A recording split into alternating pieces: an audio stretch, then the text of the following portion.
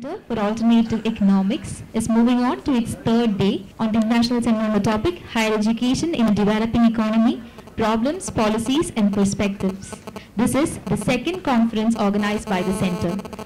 The last two days of the seminar was indeed a very successful one with warm responses and expertise view on the respective topics. This session that is the technical session number seven has some changes which is being displayed on the uh, slide. Uh, the session uh, will be chaired by Professor Cyriac Matthews and the speaker will be Professor Saumen Chattopadhyay. Before starting with the technical session, we shall have the moment to be more auspicious. I welcome uh, Ms. Gopika Varma for the prayer.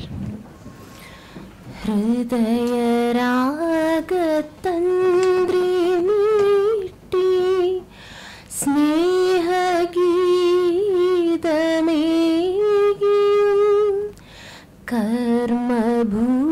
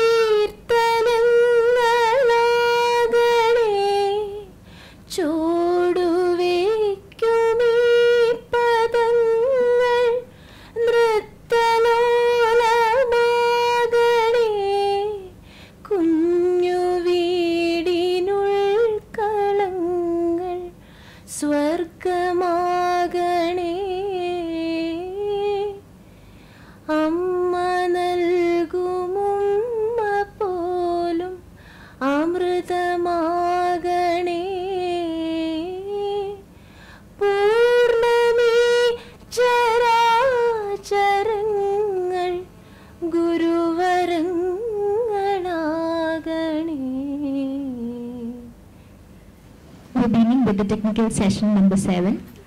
Uh, the session will be chaired by Professor Cyriac Matthews, Fellow, Institute for Sustainable Development and Governance, Thiruvananthapuram. And we have Professor Saumen Chattopadhyay from Jawaharlal Nehru University as the key speakers. I invite all the dignitaries to the dais. This session will be having two presentations by Dr. Arun Lal, Head, Department of Economics, Government Arts College, and by Dr. C. Anil Kumar, Research Officer, Kerala State Planning Board. For offering us all a cordial welcome, I invite Ramya Mohan. A pleasant good morning to all, respected delegates of the, on the dais, of the dais, dear teachers and my dear friends. Uh, it's great pleasure to welcome you all to the seventh technical session of the uh, international seminar. We have uh, th- this session deals with the financing of higher education uh, in India. Note that financing of higher education in India is a complicated uh, issue in, uh, in, in the present scenario. To chair this section, we have Dr. Cyriac Matthews, and for uh, uh, presenting the paper, uh, the main speaker is uh, Professor uh, Saumen and we have two presenters in this session. Uh, Dr. Cyriac Matthew is a fellow Institute for Sustainable Development Governance at Trivandrum. Uh, he was former Deputy Director of Collegiate Education, Government of Kerala. He specializes in the field of energy economics and higher education. Uh, he has 33 years of teaching experience. He has contributed several articles and research journals, uh, and he is actively involved in research programs. On the behalf of the Center, University of Kerala, I uh, offer a hearty welcome to you, sir. We have right person to discuss about the financing of higher education in India. Uh, that is uh, Professor uh, Saumen Chattopadhyay. He is an eminent educational economist. Uh, I extend a special and warm welcome to you, sir. Then I would like to extend a warm welcome to the delegates of the DICE. A hearty welcome to you all. It's a honor to it- it's a honor itself to honor a beautiful audience. I welcome you all to this uh, seventh technical session. Once again, I will I welcome you all to this seventh uh, technical session. Thank you and have a nice day. Now we shall begin with the technical session. I request the chair to continue with the proceedings. Thank you, Ramya, for the kind words. A very good morning to all of you. We are here with a very important technical session, an aspect of higher education, that financing higher education.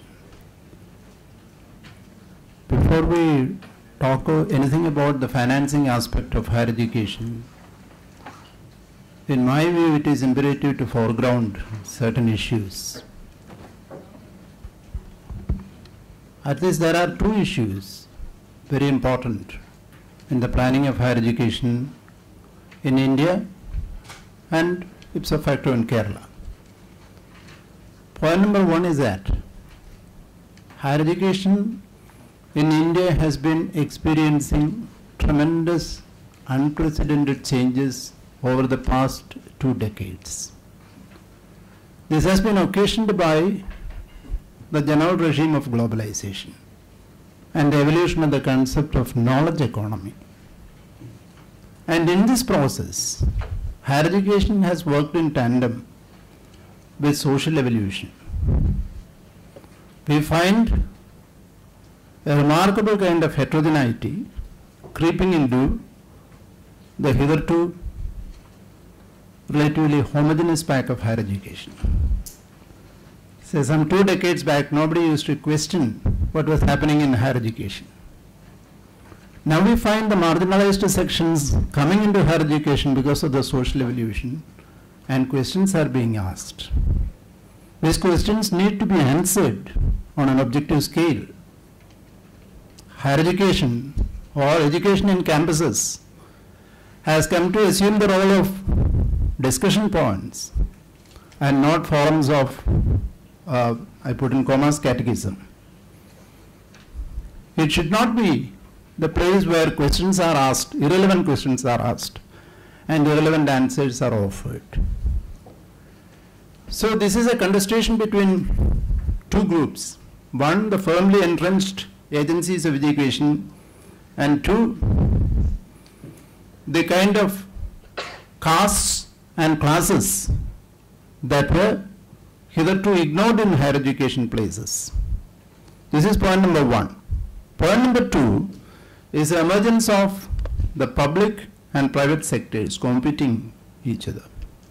That is also a remarkable change which has happened in India during the course of the two decades. And this has also been consequent on the globalized regime. In Kerala especially we find the mushrooming of self-financing colleges. Somebody calls it student financed colleges. It is not self-financing. So a lot of ethical issues are there, a lot of academic issues are there. So we have to foreground these two aspects before talking anything about financing of education or talking about the restructuring of higher education in India and also especially in Kerala.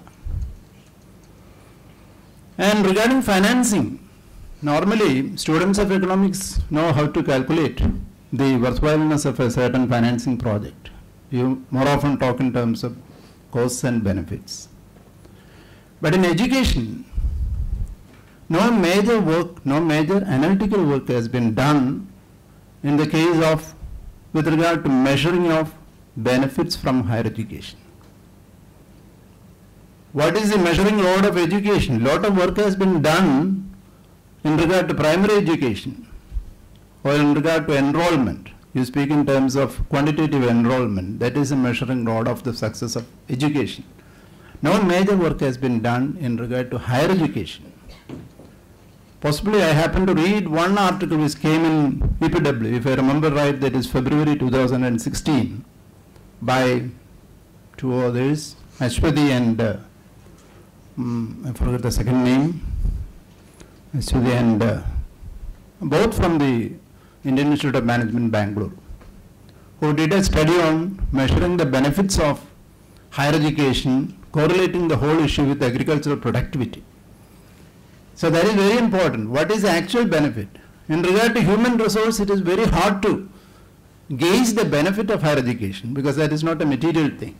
But indirectly we can correlate it with agricultural productivity as has been done by these two others. In Kerala possibly we can do it in respect of um, the, the quality of teaching itself, benefits of higher education. That will be some kind of an input-output analysis. The input itself becoming the output and the output re-entering the input category. So such works have to be done um, in the course of time. And this forum should be a place where fresh avenues of thinking have to emerge. I am not taking a lot of time because that is not my business. I am very happy to welcome Professor Saumen Chattopadhyaya of the JNU, who will be talking on the mode of funding higher education. Can it reform university governance?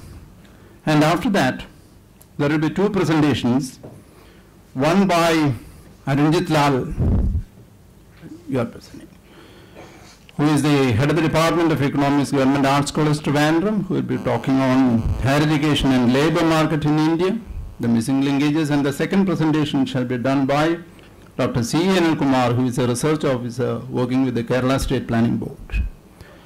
I welcome the panelists and uh, I very cordially welcome Professor Saumen to deliver the keynote address. Professor.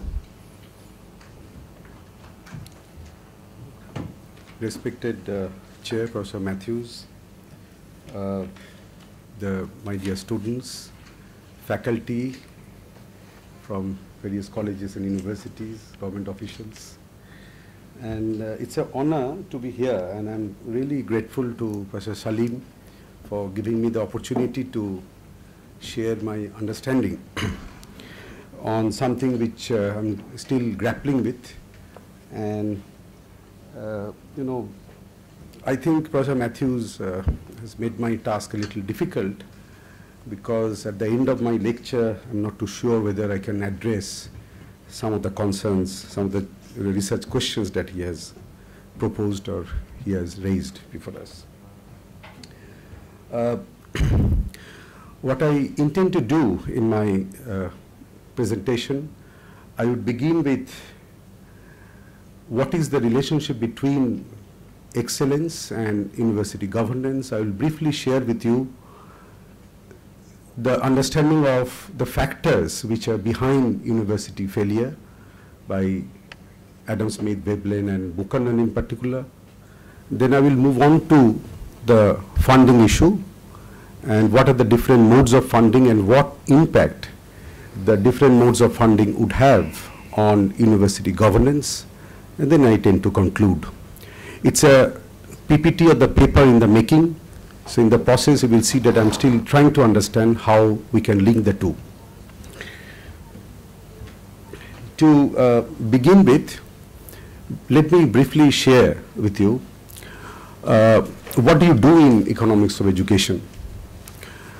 Uh, economics of education is not generally offered in the master's program in the majority of the Indian universities. That is not the case in the West. Economics of health is indeed offered and when you go to the library, when you search materials, you will get quite a good number of materials in the area of economics of health, but not so for economics of education. What we do, I mean, I'm primarily talking to the students. Uh, we apply what we learn in economics in this particular sector of education. And the underlying assumptions of what we do in economics, therefore, are assumed to be or supposed to be valid when you are applying in this particular field. So when you are looking at the policy making, what we will find that the policy making is increasingly being informed world over, not only in India, world over. India is merely emulating what is happening in the West by the economic principles that we learn in the subject of economics. And here lies the problem because the application of economic principles in the area of, in the area of education, very often we say, is a neoliberal approach to the policy reform. But before we critique neoliberalism, I must urge that you first diagnose the problem and why the neoliberals uh, are gaining upper hand in the policy making world over. Not merely by saying the neoliberals would ruin the education system, but why are they coming in such a big way? There's a political economic question. Economic theory as well as the polity both have to be understood to understand why they are making inroads into the policy making. So uh, there would be implications and this is what I'm trying to do. University is a societal ins institution. So one of the two oldest institutions other than the church. And university has been responding to the challenges as already Professor Matthews has mentioned.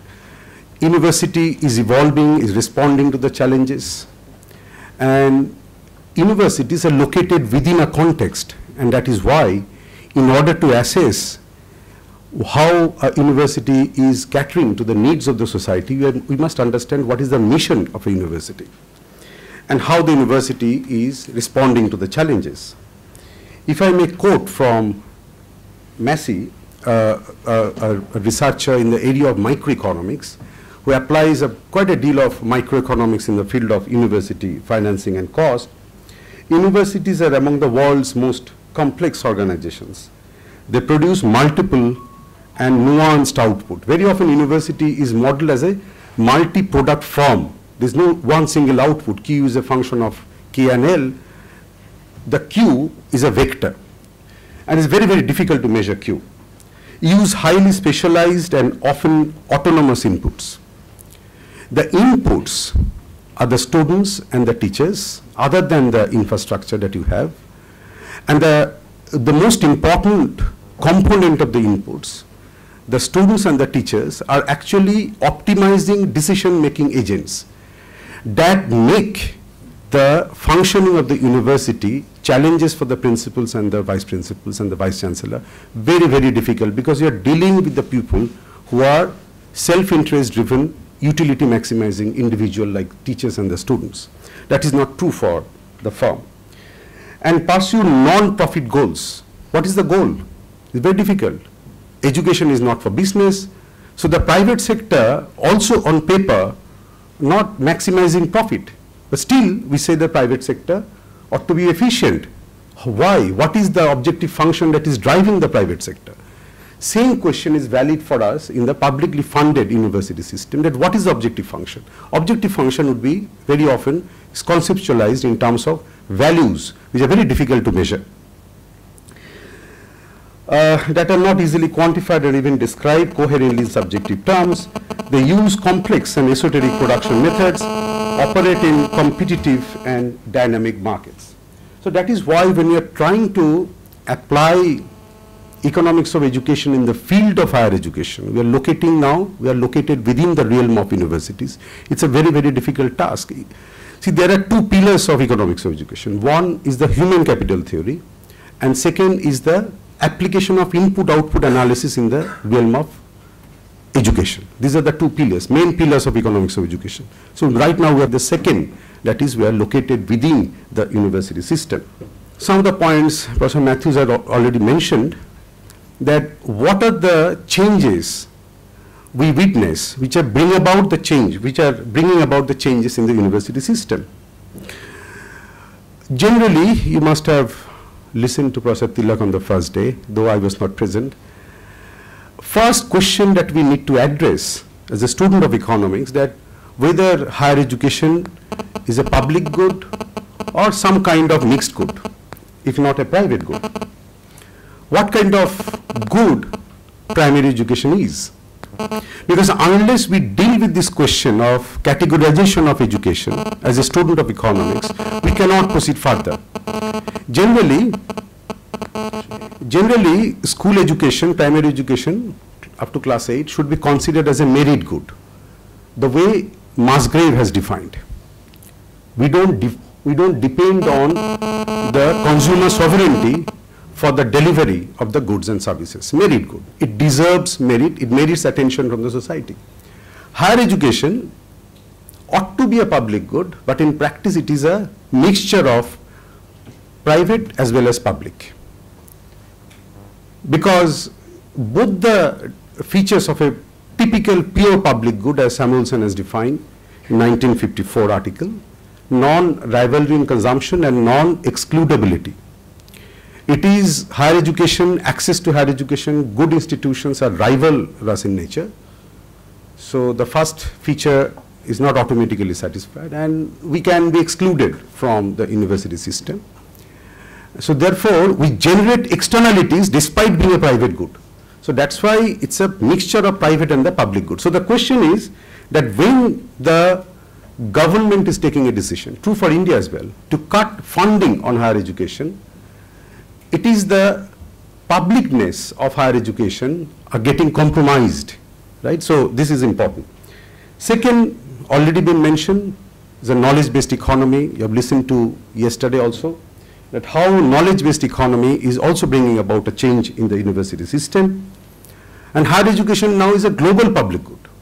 We have to cross the boundaries and see that how the publicness of higher education are crossing the international borders. It's a global public good. And that would also put pressure on the policy making, that would also bring about changes the way university is functioning. Getting more and more accountable to the society, already been mentioned right? So how we can be more accountable to the society, how we can address the challenges the society is faced with.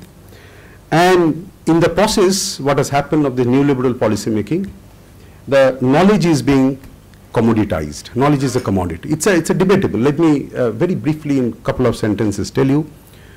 When you are talking about patenting, knowledge in the form of a patent is a private good. You pay, you're excluded if you don't pay, you can't. It's an article in a journal which you can't download because you have to pay, you have to be a member, subs subscriber of that particular journal. It becomes a private good. The same commodity, if it is a downloadable without paying for it, it becomes a public good, right? So the public and the private, publicness and privateness of a particular commodity as Samuelson said in 1954, it's not a technical feature of a commodity, it's a policy decision, it's a construct. It's a socio-political construct. It's a, it's, a it's, a, it's a technology, it's a policy decision. So what has happened therefore, it is the purpose of the policymakers, it is the objective of the poli the objective, the vision the mission of the policymakers to understand how to treat knowledge here. Knowledge could be private, knowledge could be a global public. Generally the formula that we do, all the classics that we read, all are treated to be public good, but not all articles. And then in the globalized era, we are increasingly forming networks. We are collaborating within the country, across the country, and network formation and collaboration because as Professor Bharat Prasad was also mentioning yesterday that the innovations are taking place, new ideas are generating where the disciplines meet, right? So you can have interdisciplinarity, you can have transdisciplinarity, and so therefore we are forming network all over the world to deal with the challenges, and these are the changes which are very important to understand the university governance. The father of economics, 1776, the wealth of nations. Should I remove this I don't know.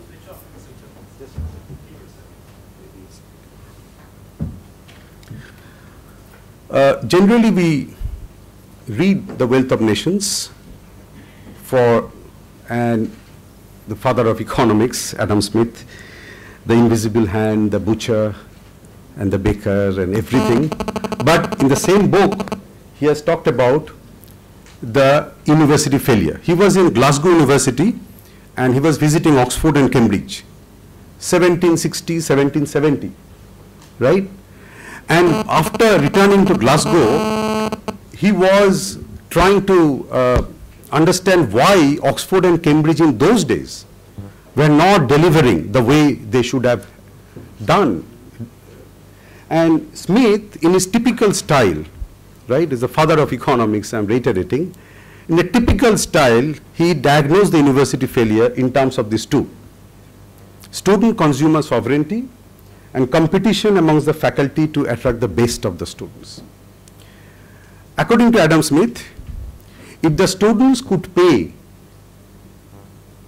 with their tuition fees the remunerations of the faculty, then you are creating a market between the student and the teacher, and the market is essential for quality because the teachers would become more accountable to the students and students would be very serious, they are well informed, they know what, what are they doing, in what and how are they engaged, the dedication and uh, seriousness. And so therefore, they would get the best from the, the, the, the teachers who are now the providers.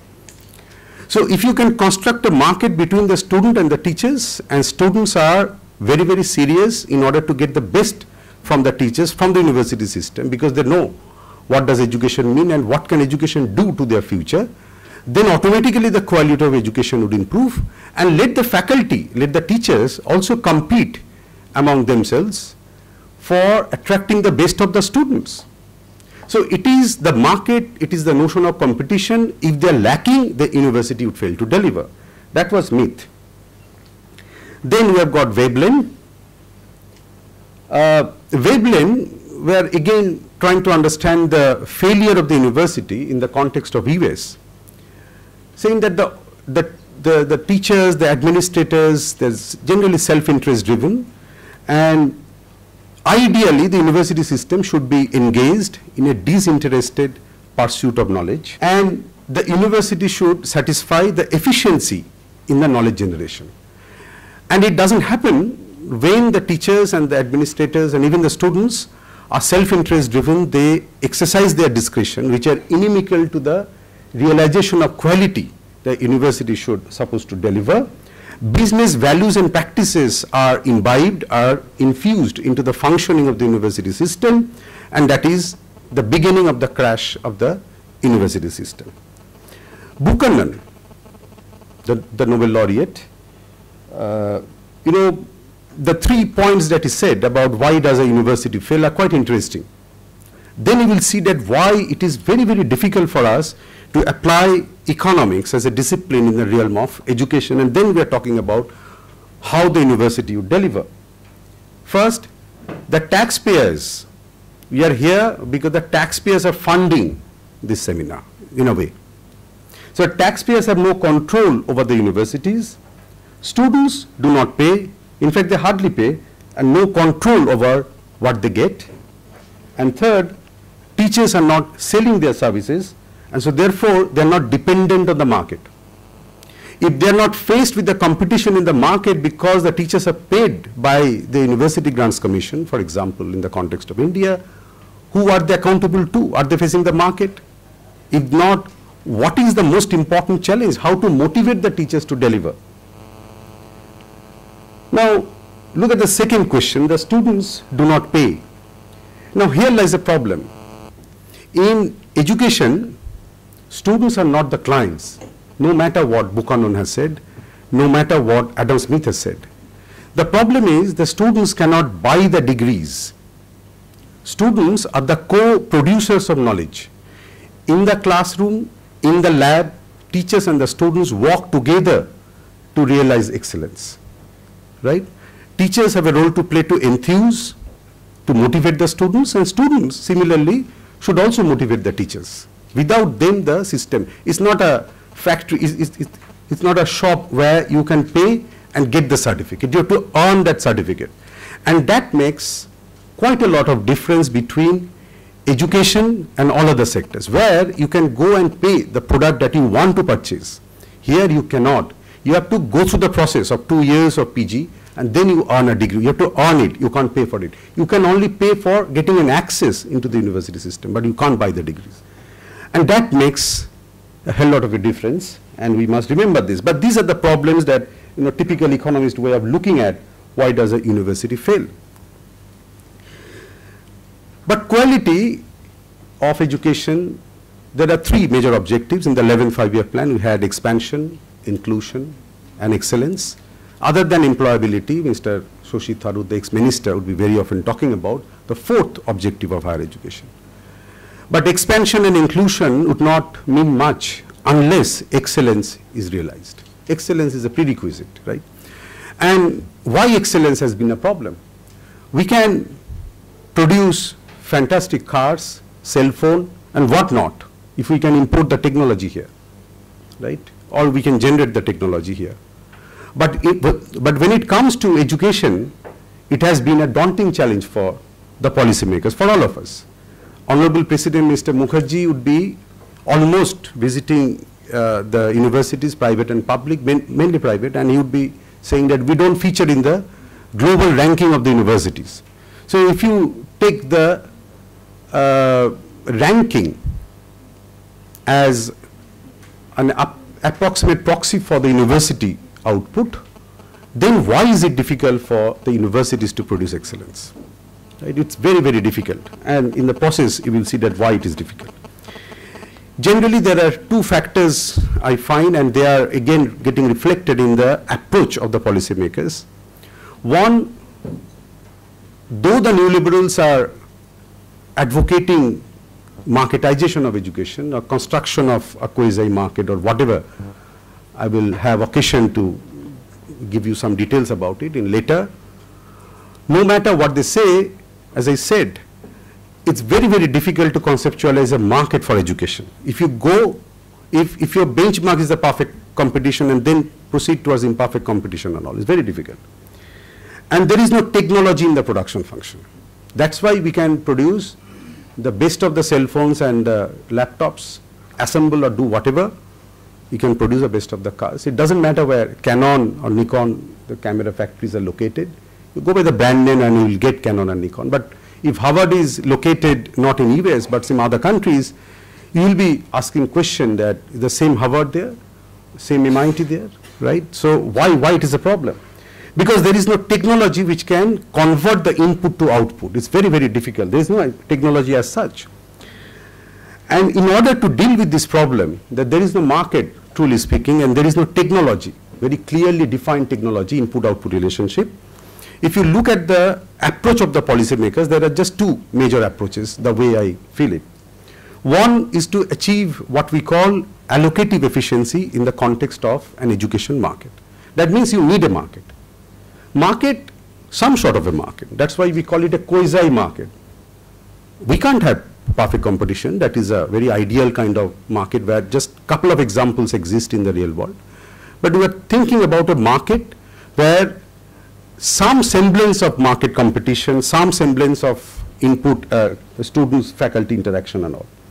So yesterday also Professor Rajan Gurukkal was talking about a regulatory body, if you remember, Independent Regulatory Authority of Higher Education or the National Commission of Higher Education and Research, that if we develop a market, then we need a regulatory authority. Because the market of not a textbook which prevails, which would prevail, even if you even if we very try very hard to construct such a market. And the third and the second dimension of the policy making is to realize what we call technical efficiency. That means there is no input output function, truly speaking, the way we do it in micro, but let us have a technical, uh, let us have an input output well defined function because that is a prerequisite for achieving the quality. And both allocative efficiency and technical efficiency, they go together. So when you're coming up with a market, you would expect the publicly funded universities to respond to the market forces, right?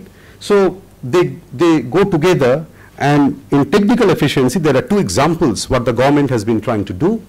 One is the performance-based assessment system and API, Ashna and others talked about it yesterday. And public-private partnership is also one way of reforming the governance structure of the universities. So these are the two major policy approaches. You may not read uh, properly uh, this, uh, you know, what is on the screen, but this is a university system where on the left hand side, on the right hand side, you have the input. And what are the input? The human resources and the physical infrastructure, and both are obtained by spending resources. So, so uh, human resources and the physical infrastructure and on your, on your left is the university output. Now what is so crucial about the production function when you are applying in the case of university is that if, and since there is no technology where you can put the input in and the output will be automatically churned out as per specification, it doesn't happen. So the F is very important and F is nothing but the process where teachers and the students are involved with dedication, with motivation to convert the input to output. Very often in university is said to be a customer input technology as well. Has already been mentioned by Professor Matthews that the students are the input and students are the output and students are the customers. It's very, very important to bring students into the entire process. So what happens here, in the process you have got a couple of things that autonomy, incentives, governance, the bureaucracy, how we are getting suffocated by the bureaucracy or the bureaucracy is helping us to do what we want to do, the governance and the incentive system and all these process, all these dimension of the process are very, very important when you are talking about conversion of input to the output. But as I said very briefly in the beginning of my presentation that when we critique the neoliberals, you have to understand why are they gaining when it comes to the policy making. It's very, very important. Not merely by saying the neoliberal would ruin the system, they are, but why? You see, the hallmark of the academia, the university system, is the academic freedom that we enjoy, that the freedom. And that is very, very important because we are supposed to be the specialist. We know what we should do, not only in terms of the designing of the course curriculum, in terms of the delivery. And so therefore, we should be given the utmost freedom from the bureaucracy, from the University Grants Commission, because we know what we are doing, right? And it's a typical Veblenian uh, world where we are engaged in the disinterested pursuit of knowledge. But what is the reality? The reality is that despite liberalization, despite the private sector entry, despite the fact that we are gradually embracing a market, we have not been able to deliver quality. So the market and the private sector participation have not delivered quality. On the other hand, the publicly funded institutions where we are being funded by the University Grants Commission, we have not been also delivered the quality. But the factors behind that too are quite different. In the private sector, what has happened, that it's, as I said, it's very difficult to say that private sector would have achieved efficiency in the use of the resources. They don't maximize profit on paper. What they do, they minimize the cost, they inflate the cost in a very unfair, corrupt manner, and then they siphon out the surplus. Now, in education, what happens, and is equally true for health, that the cost and the quality are positively related. So if you cut cost, you're compromising with the quality. You're compromising with the salaries being given to the teachers. You are compromising with the infrastructure that you install to get the best of the quality. And this cost cutting tendency coupled with the students' craze for the certificate, that the certificate is important, not the process, has actually hijacked the Indian higher education system. So its private sector has become majority of them. It's a pyramid. There are good universities. I'm not saying anything against some of the good universities. But the majority of them have actually failed to deliver quality because of this. Because there is no market and the students are happy with the certificate. And when they realize the certificates are of little value after entering the job market, then it's too late because the decision that we take in education are irreversible choices. We, we can't go back because the years are all gone by. You have to change the discipline. It's not a buying of a piece of land or buying a cell phone that if you don't like, you approach uh, OLX, right? You, you sell it off second hand. You, you, you simply can't do. It's a history, it's embodied in you, and you can't negate, can't erase the past. In the public sector, there's also a serious problem. We need to introspect, we need to reflect what we are doing. Starting from the teaching learning process that we have in the classroom, doing justice to the curriculum that we design to deliver to you, the paper setting, the conduct of the examination, paper evaluation, teacher absenteeism and all, research supervision, who are the examiners of your thesis, political appointment of the vice chancellors, inefficient use of resources. There are actually quite a good number of them. But we must think because what happens here, as I said, the process is so nuanced and so subtle, so esoteric, that is very difficult to ensure that what is the best. And the moment we lack scruples, the moment we are dishonest, right, we are very quick to achieve our target, then the process is subverted, that the process is compromised, and poor quality of education is generated, knowingly, unknowingly. This is very, very serious. So both the public and the private sector has failed to deliver, majority of them, precisely because of this reason. That if there were a technology, we would have no problem whatsoever. Now, so therefore, the moment you take higher education as a quasi-public good, that means there's a private demand, there's a social demand, and the, and the difference between the private and the social demand is the extent of externalities. Already been mentioned, is very difficult to quantify externalities. So when you're talking about 4% of GDP, 6% of GDP, 3% of GDP, one simple crude way of answering this question would be how much of public funding, right? And that would be answered by a quantification of externalities, which is a stupendous task. So the question is therefore that okay, funding is important because of the massification, because of the infrastructure need, but we are also aware of the fact that the universities are failing to deliver quality. So how can we tackle with the board that we have to release more funding for the university system at the same time can we effect can we bring about a change in the university governance system to deliver quality. And here lies the importance of the mode of funding. That the, the way the funding is released to the university system is very, very important here thereby.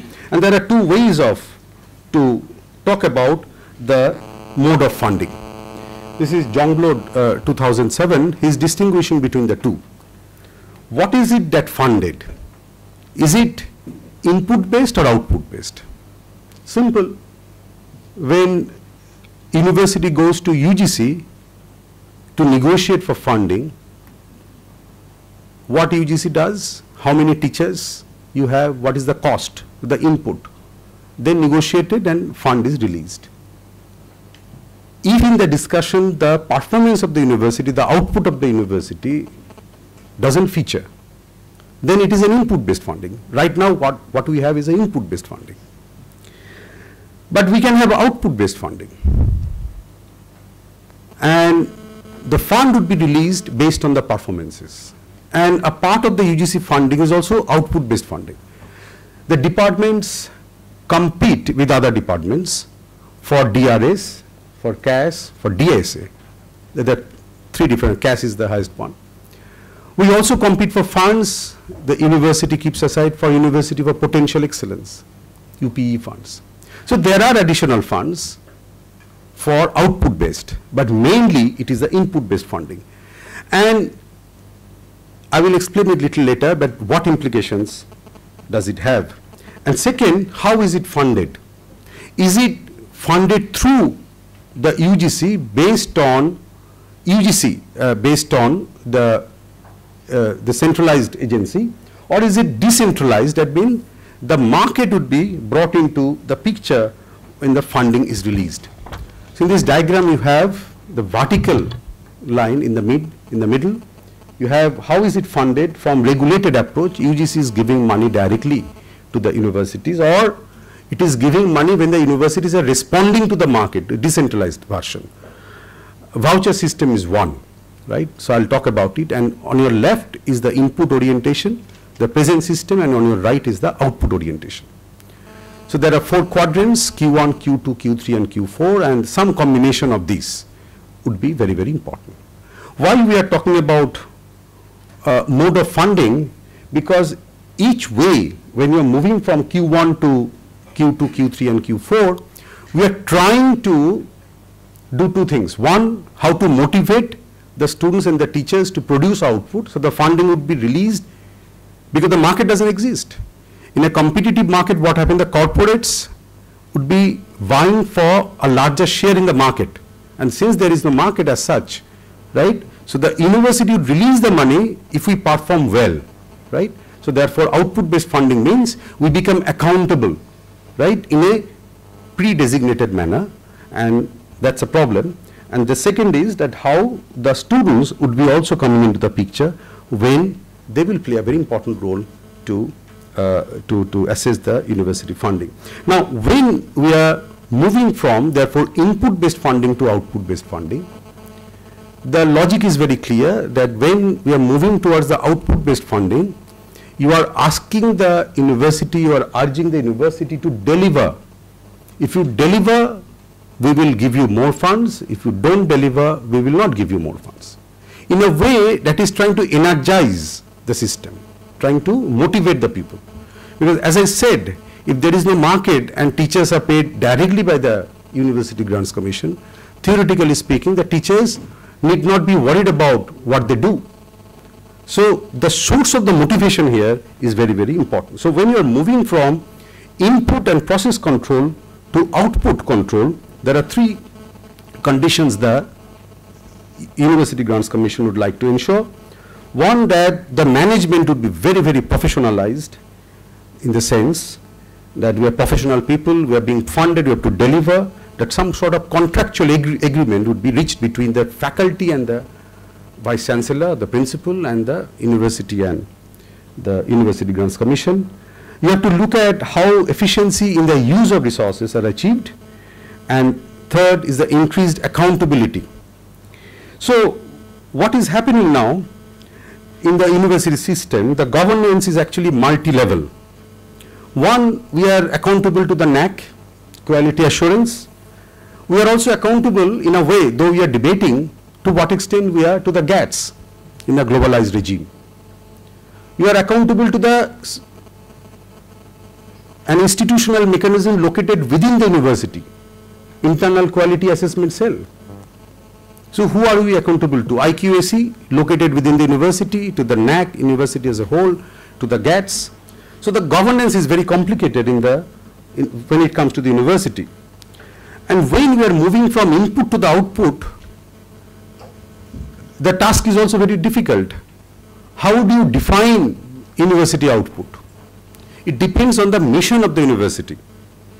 And how the output is measured is also a signal what does MHRD want the university to deliver and accordingly is giving a signal to the university that you better produce in accordance with the national institutional ranking framework. You have got the global ranking framework, there are various agencies and the vector differs, the way the output is measured. So when you are setting a target for us, we are trying to gear up to respond to, to achieve that target and that output is very, very important. So therefore in the process what happens, the question is how are the teachers incentivized and how the state is trying to become an evaluative state. Now the state, this is a typical neoliberal logic that look, I'm going to be a facilitator, I'm going to be a regulator. Quasi-market means there has to be a regulator. Right? It's not full-fledged market. The neoliberals are never saying full-fledged market because they understand that's the difference between liberalism and neoliberalism. They understand that full-fledged typical market cannot be envisaged, cannot be constructed. So we are talking about a regulator definitely. So when you are moving from input-based funding to the output-based funding, what we are doing essentially, I might skip the, some slides because you know because I'm still in the process of making my slides, so the argument might uh, move to and fro. So when you're moving from input-based funding to the output-based funding, what's happening? Input-based funding means the input are being funded by the UGC, so output is not being taken into account and so therefore Buchanan and others would come and say that look the quality would be a problem. So what happens in this system that is the prevalent system that you combine input based funding with API kind of system. That means the output is defined as it is in the Gazette of India. There have been several revisions of the UGC regulation now those who are doing MPhil PhD, there is also a UGC regulation 2016 you might be knowing. And I don't know whether it is discussed in the context of university and see that lot of conditions have been added. And why publication is necessary in a journal, not in a book, being debated in JNU, that if you, before you submit your thesis, you should have a publication in, in a journal, not in a book. We discussed in the AC meeting that why not book? Because UGC thinks that publication in a book is much easier than a publication in a journal. But the question remains that the journals are also proliferating and there are dubious quality journals. Anyway, that's a problem with the UGC, maybe at the end of the lecture. But what is important here that uh, input-based funding is being combined with a typical API system, that is the present system.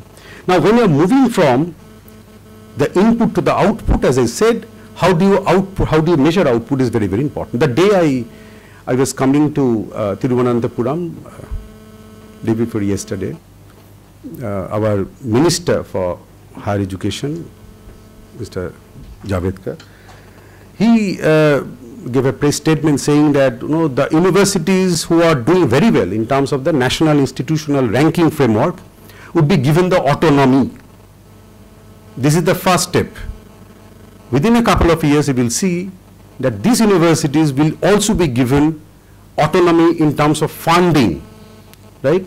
Autonomy means you have proved your credibility, you are on the top of the ranking list, you know what has to be delivered, so I give you the autonomy. This is about the Indian universities. At the same time, MHRD is very keen to pursue with the logic of setting up of world-class universities. And world-class universities, there has been a several instances reported in the Delhi newspaper that the files have been moving back and forth from MHRD law to the President of India. And the PMO is very, very involved. PMO wants freedom to be given to the world-class universities in terms of the recruitment of the faculty in whatever they do, right? Because the reason is that the existing set of universities have failed to deliver, have failed to feature in the world ranking, so they are irreparable. I'm putting it very bluntly, sorry, they are beyond repair. So if you want to feature in the world ranking of the universities, we have to think of universities anew, afresh. And that's why you give them complete freedom to whatever they want to do in terms of the admission of the students, in terms of the faculty recruitment, the foreign faculty recruitment will now be permitted, everything that they do. So that means you are moving from input to the output based with freedom, with autonomy, the manner in which they, so that means it uh, leads to increased autonomy. Uh, then, you know, when you are going back to this uh, particular diagram, you will see in the Q3, there is a mixture of output orientation and decentralized I may not discuss each and everything here, but here it's a typical example where universities are invited to submit tenders with specific mention about output, student and research, and there's a competition of fund. The way we purchase from the market by floating tender, UGC will also be floating tender. I'm joking, UGC may not do in the near future, but I'm saying the regulatory body will be floating tenders.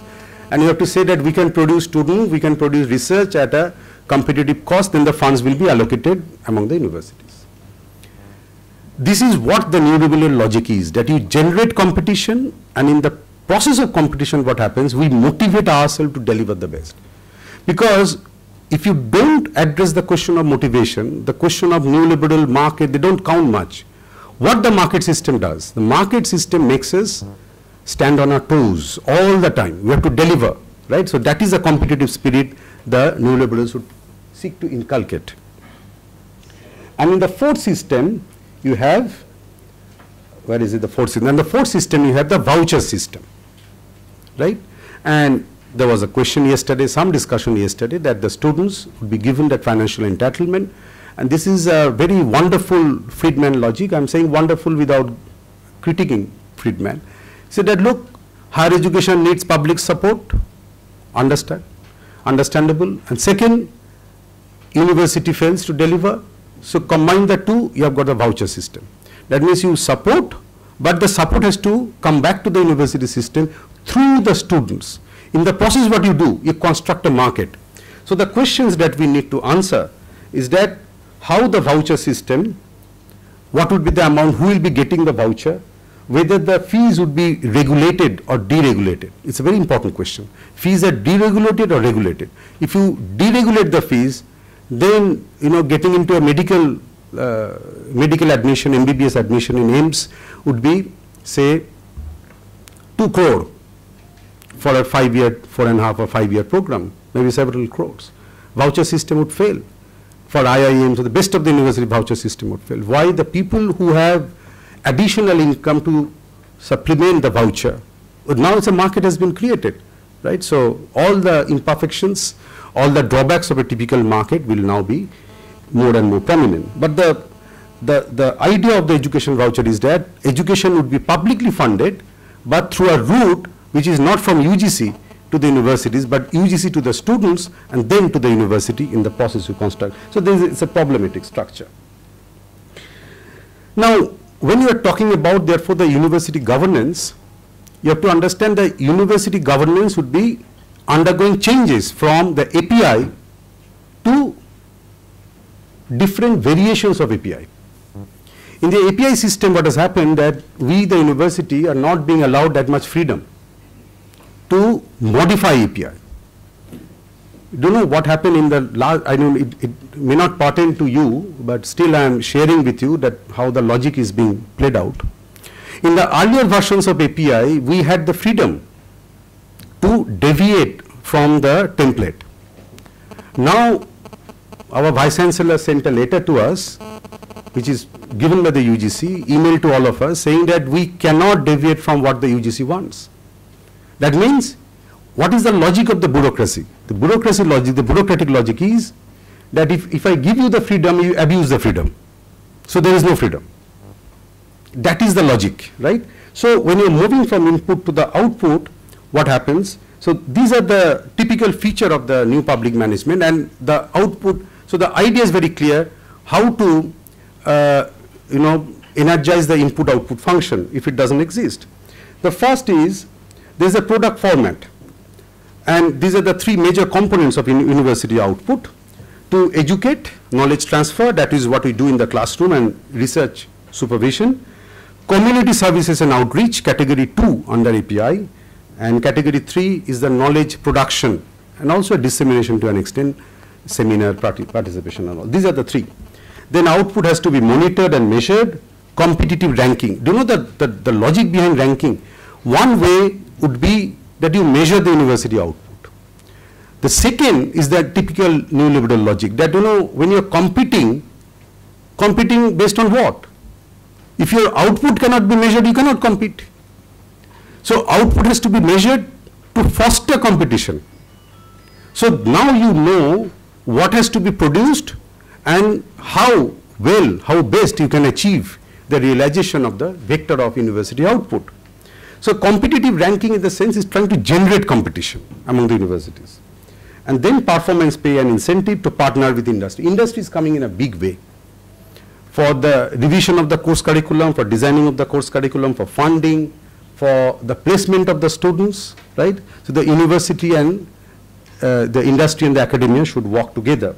And then you have got the accounting and the audit. Accounting, let me uh, give you an example because uh, this is not the purpose to give you the details of the API. Whatever we produce are being accounted for. But there is no market. How do you account for? If you publish in an international journal, in an example I'm giving you, UGC would give us 35 points. If you publish an article in a newspaper, you get 5 points. What does it mean? It means seven newspaper articles are being treated equivalent to one international article. That is the accounting. The moment you account what we do, they become substitutable. That means it's now playing out in my mind whether I should be writing one good international publication in one and a half year or I should be writing seven newspaper articles in one and a half year. There lies the logic, there lies the catch, right? And audit means I've already explained I, IQAC SAIL and other places that you have. In the process, what happens?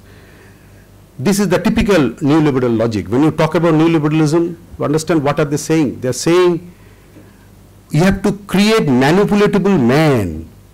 Manipulatable in the sense we can be manipulated. How we can be manipulated? By dangling the carrot and showing us the stick. So that we are the homo economicus and therefore we are engaged in cost benefit calculation. You show us the cost, you show us the benefit, we are rational, well-informed individual. We know what has to be done. That is a typical neoliberal logic. Now, now what happens therefore? We imbibe that logic and turn out to be very different individuals. If you read this sentence, as various fields of inquiry are standardized, rendered equivalent and more readily reordered, cost saving and revenue raising are made primary to knowledge creation, but I'm sorry, th- this is not the slide that I, I mean, I think I have missed it out somewhere. The, the idea was that we become altogether, it affects our zone of, zone of imagination, it affects our thinking, and we become altogether different individuals. Now, the entire story can be looked at somewhat differently. When the academia ought to be enjoying academic freedom, the government and the society had complete trust on the universities to deliver. So that was normative trust.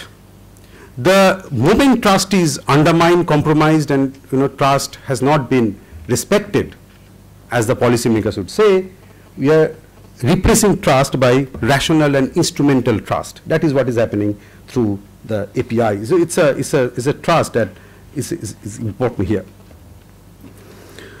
Now, what are the problems with the market for education?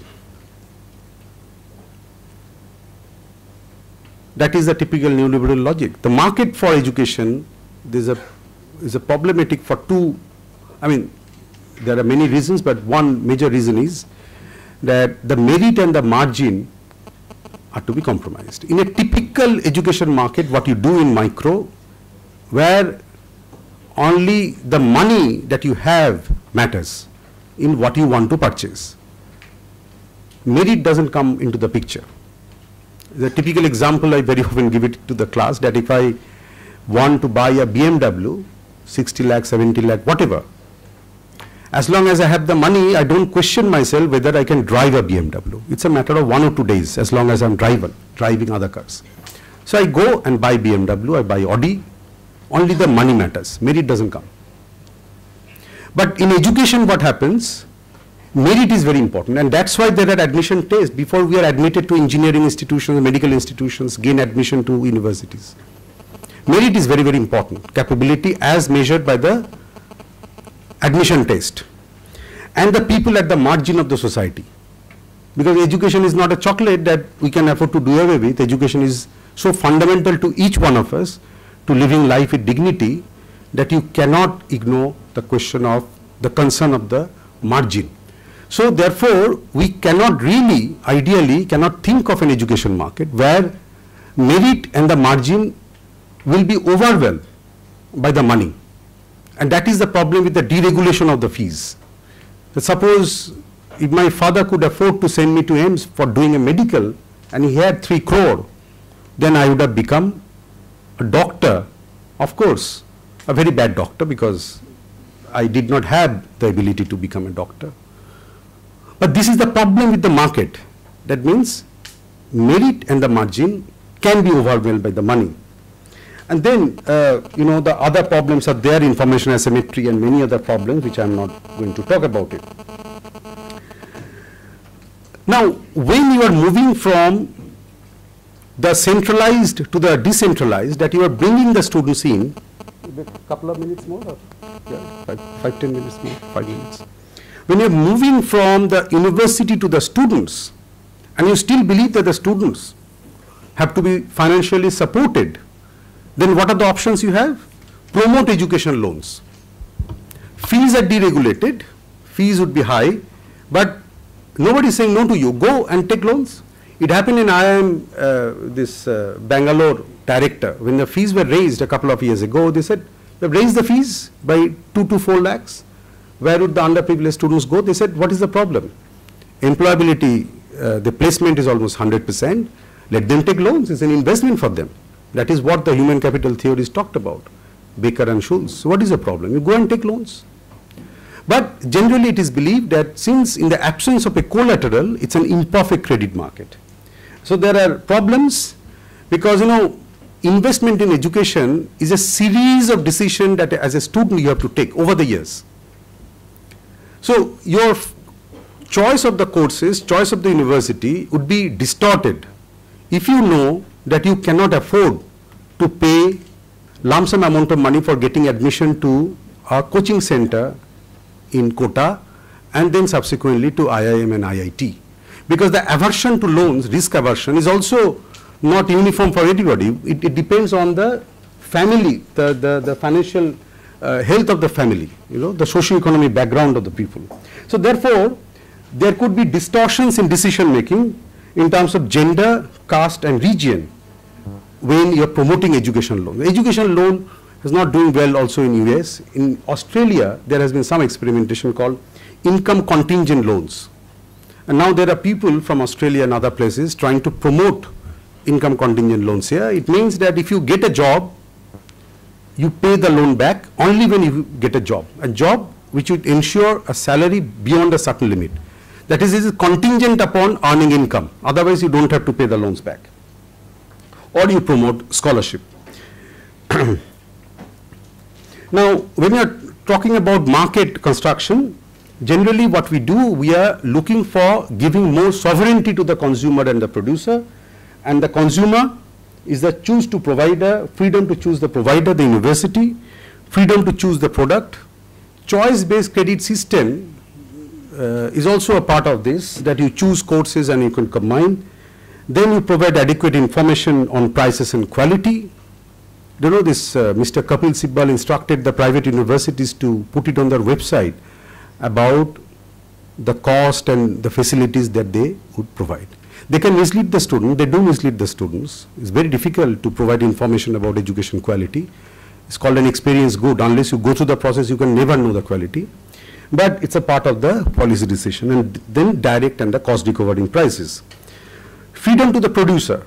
Government is under pressure to give more freedom to the producers and when it comes to the entry into the market to offer what they want, basically market oriented courses to offer product freedom to use available resources. That's also a debatable point. You remember this foreign education bill that was discussed but you know still in a limbo.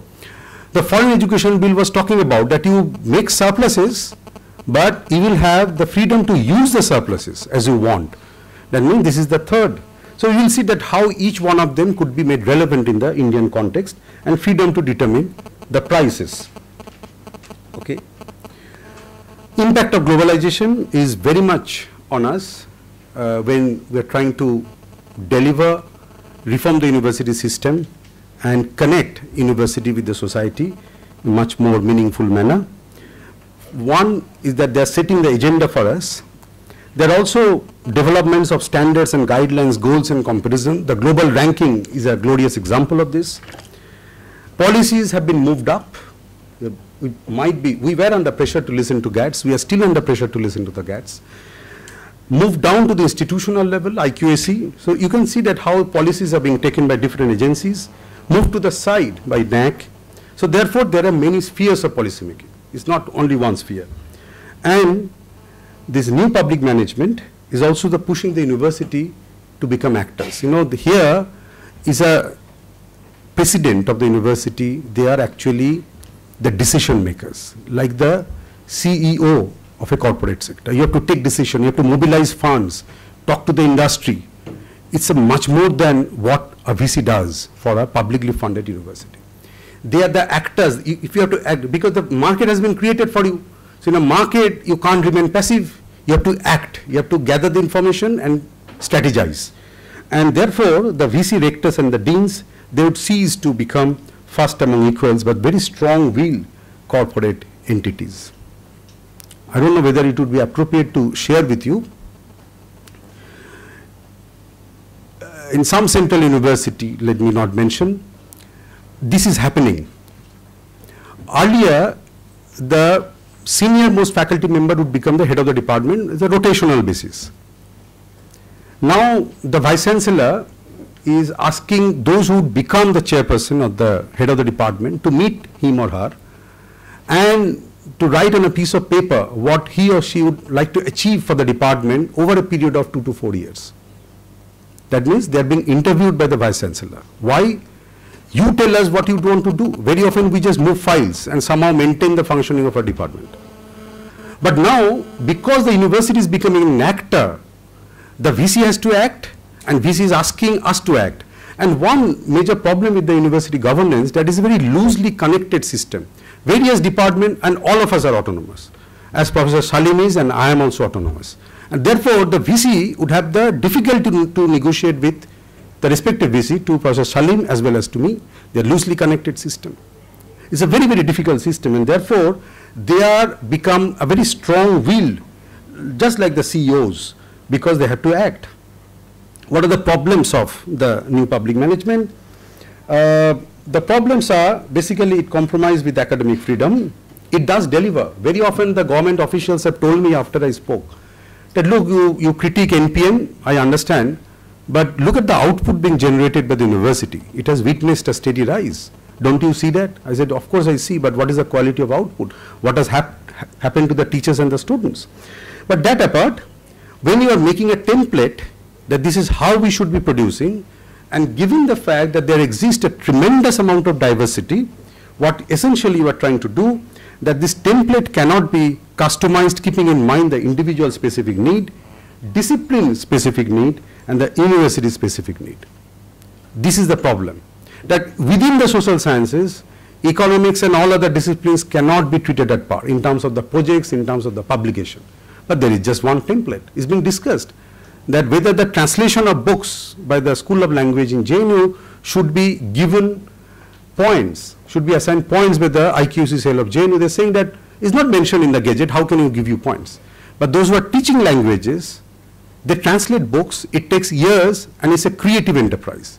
And UGC and JNU has taken time to respond to this particular, because this is the problem, that you have got a template, you honor that template. The moment we are told that we are put under surveillance, the motivation which comes from within are replaced by the intrinsic motivation, which is the, uh, the teachers and the doctors should have, ought to have, are being replaced by that we are being monitored from outside. So let us remain accountable to the outside agency, IQAC and the UGC, so the motivation from within would, would, would fall. And this is quite dangerous for the education system that when you are not motivated from within. This is a typical psychological thing and it happens in parenting.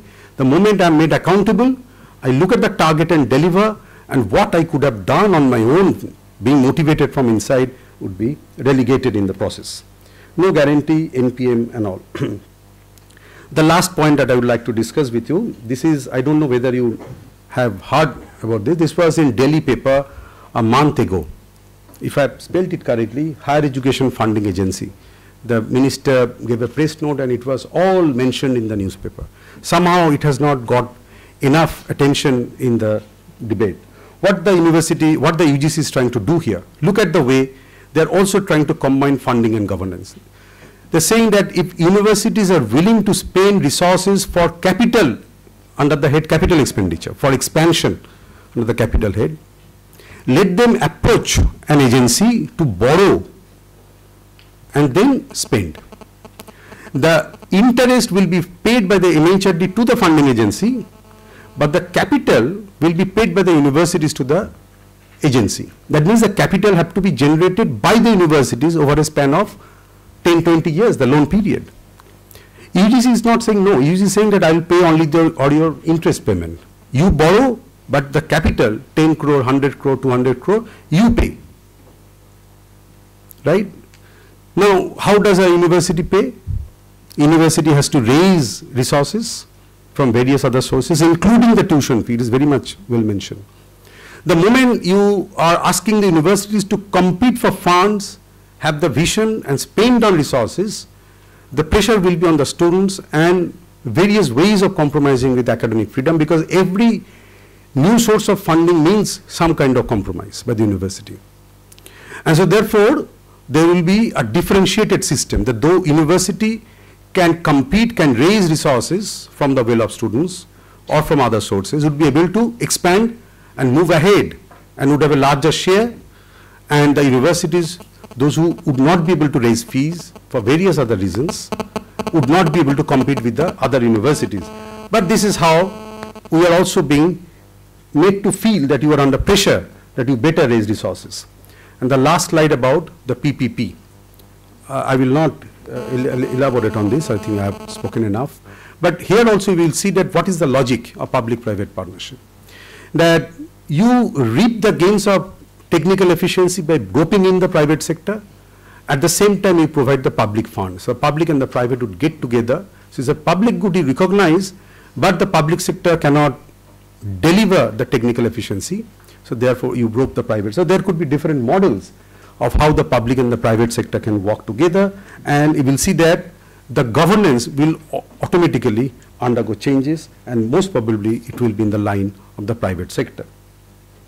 So the issue is therefore that true universities have failed to deliver. How do you reform?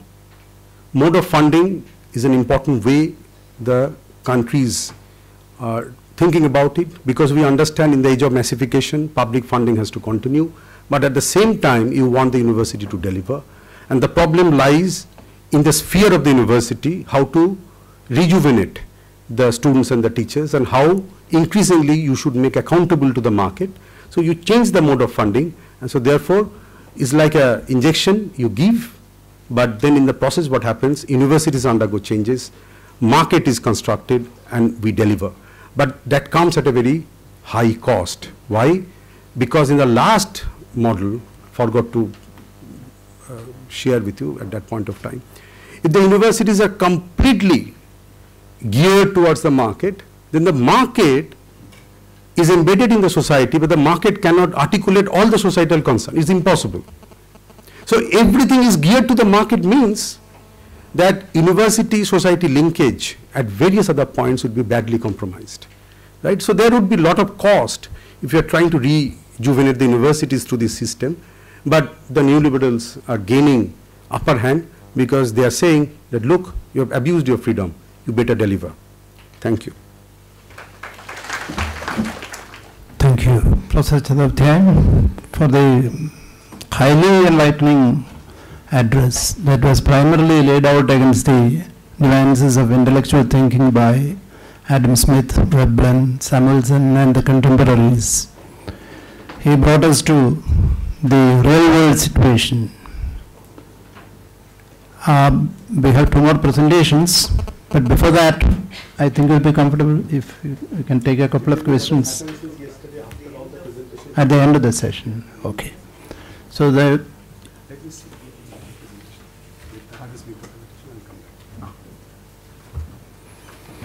Okay then, we'll proceed with the presentations. I uh, now invite uh, Ranjit Lal. He is heading the Department of Economics at Government Arts College, Trivandrum.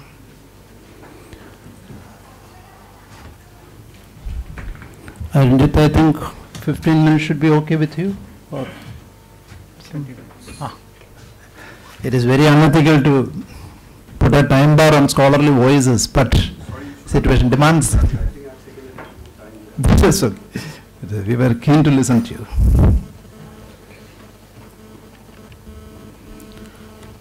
Respected Chair, Honorable Speaker, all teachers and scholars and dear students. My paper is not uh, related to the financing of education. It is something related to the structure of education. Actually, my presentation was yesterday and uh, due to some practical problems, it is postponed to uh, this day. And so my paper is on uh, higher education and uh, the labor market in India, some missing linkages. And uh, we know that the theories on education and economic growth have established that human capital has a positive and uh, significant effect on economic growth. And the neoclassical econo- economist, especially Solow, has shown that economic growth could not only be explained by capital and labor increase, but also by the contribution of factors of production and uh, technical progress. And the theory has been extended by incorporating the process of capital formation by Mankiw, Romer, etc. As we know that the globalized re- regime has changed the growth environment. Even with a growth rate, high growth rate, many countries, including India, face the paradox of mounting skilled labor shortages coexisting with the rising graduate unemployment and underemployment. So here, an analysis of the relationship between education, which provides the human capital, and employees, employers, specifically the labor market, who utilize the human capital is relevant. So my paper is an attempt in this respect to analyze the relationship between the human capital providers and the human capital utilizers. So we have the following areas of discussion. The first uh, session, the current state of Indian higher education system and assessment, a very brief assessment. And the second is the emerging labor market changes. And the third aspect relating to the labor market implications. That is the missing linkages between linkage between higher education and labor market or employment. And the fourth area is uh, the strengthening of regarding the what is the way out? The strengthening of the link between higher education and labor market strategies to follow so regarding the review of uh, an assessment of the state of high Indian higher education system, we can see that so we have India have by 2030 140 million people in the college going age group. Only in every four graduates in the world will be a product of Indian higher education system. This is according to uh, the higher education system in India Vision 2030. And when we assess the higher education system in India, we can see that India, Indian higher education is prominently placed on the global higher education map on account of the student enrollment and the number of institutions. So we have uh, 33,723 institutions, you, you see that. And in terms of uh, the student enrollment, it is uh, 26.7 million. So, so this is the, uh, so that is prominently placed, India is prominently placed in terms of the student enrollment and uh, the number of institutions. But uh, at the same time, the system, the education system lacks in terms of uh, the global ranking of education institution. Uh, you see, so this is the ranking of uh, education institutions. So, so we have in the case of the number of institutions only six and four. So you compare it to compare. Uh, please compare to other countries. So, so this is this is a brief assessment of uh, uh, the higher education system. So we are prominently praised in terms of uh, the student enrollment and institutions, but we lag in terms of the global ranking of the institutions and at the same time the international students coming to India and the collaborations with the international institutions. This is the this is the the, the picture of higher education system in India. Then uh, the second aspect is uh, regarding the emerging changes in the labor market. So we can see that um, the emerging changes in the labor market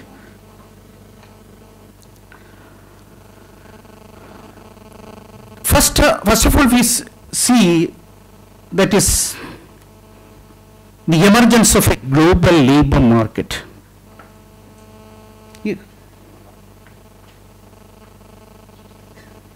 Emergence of a global labor market. The structural shifts in the global economy, the productivity enhancement and the technology progress are driving the demand for a highly skilled innovators and knowledge workers. The world is at the beginning of a fourth industrial revolution. So, and we stand at the brink of a technical, uh, technological revolution that may fundamentally alter the way we live and work. So we have developments in genetics, intelligence, robotics, 3D printing, nanotechnology, etc., etc. So, what is required is that the education sector should uh, should uh, supply or should satisfy what the global labor market needs and not the uh, not the local labor market needs. So that uh, that that change should be incorporated by the educational institutions. And uh, there's a report uh, that is by the World Economic Forum, a report uh, based on what the changes in skills and employment.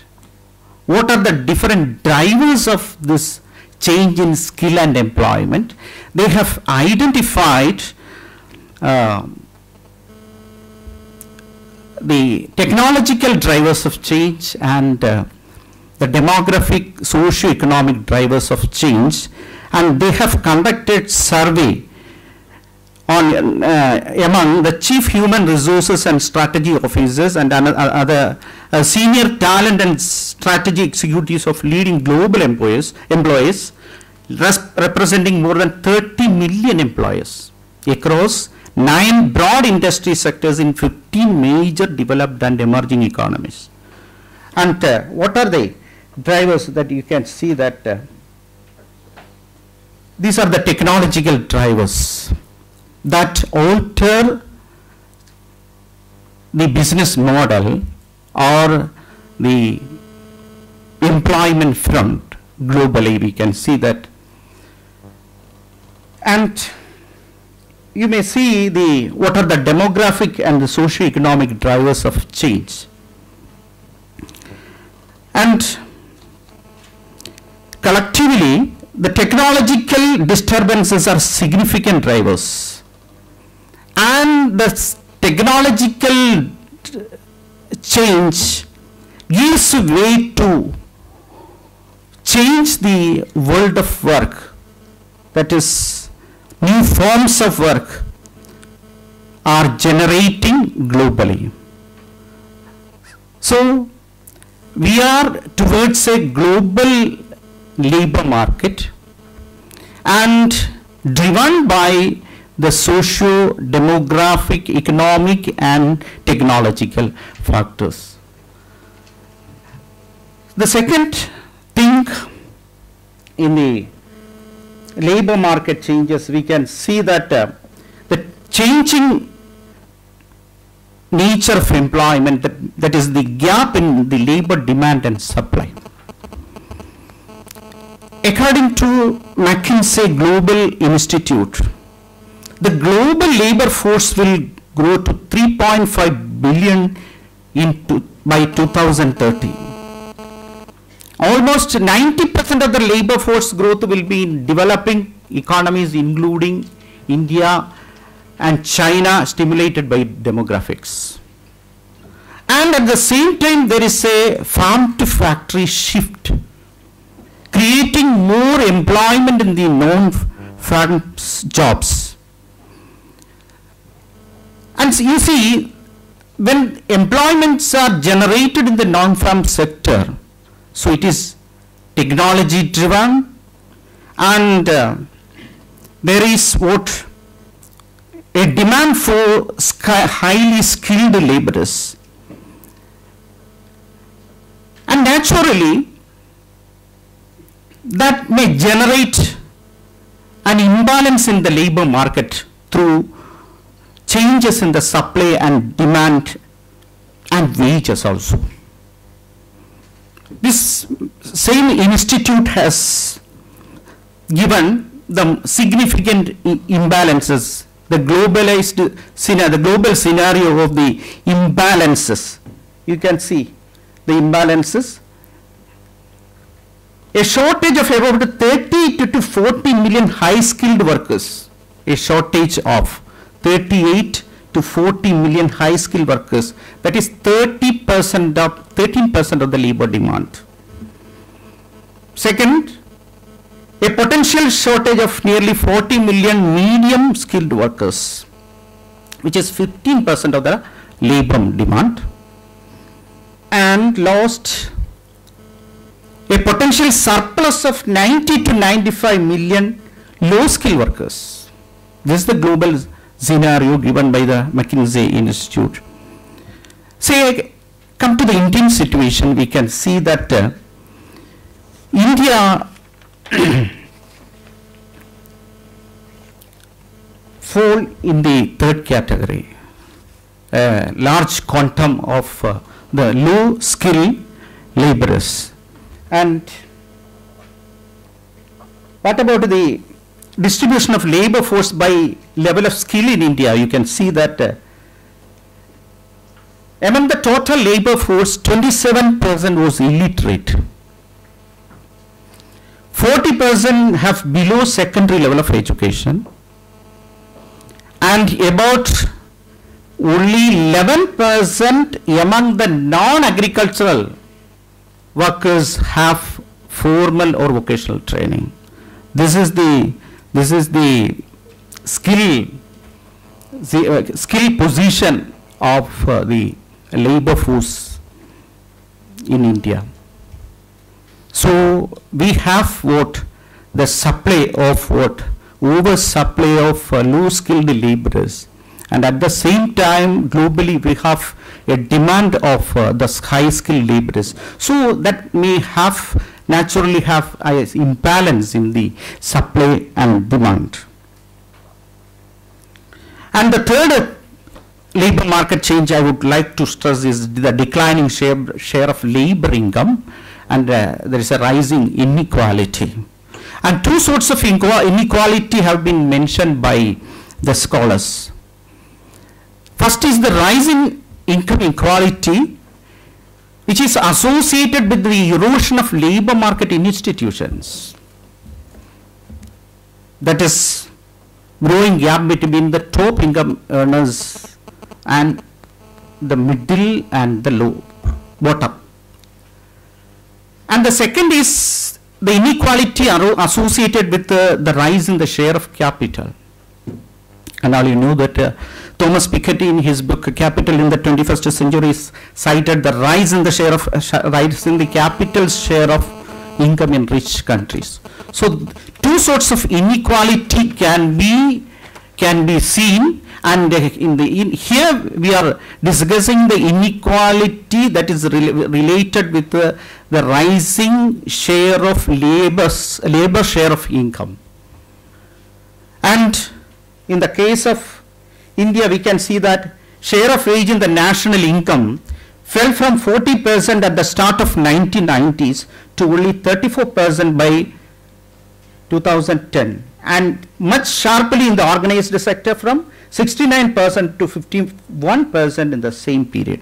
So the labor market due to this structural changes have an inequality due, due to a changing share, share of labor income And uh, so this is the second part of my discussion. So we have, uh, we are uh, experience or the labor markets are experiencing a change globally as well as regionally. And uh, so what are the labor market implications? Labor uh, implications. So what type of a linkage, a missing linkage? Here we can see that uh, the missing linkage is just between higher education and uh, labor market.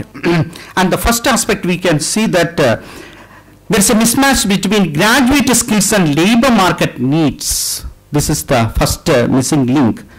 And as a result of the mismatch between the graduate skills and labor market needs, there is growing unemployability. It is not uh, unemployment, it is unemployability of educated labor force. That is, as per estimation, it is said that by 2025, uh, India's demographic dividend is expected to contribute 25% of global labor force, of 25% of labor, labor growth. 30 lakh people, graduates will join in Indian job market every year, but only 5 lakh will be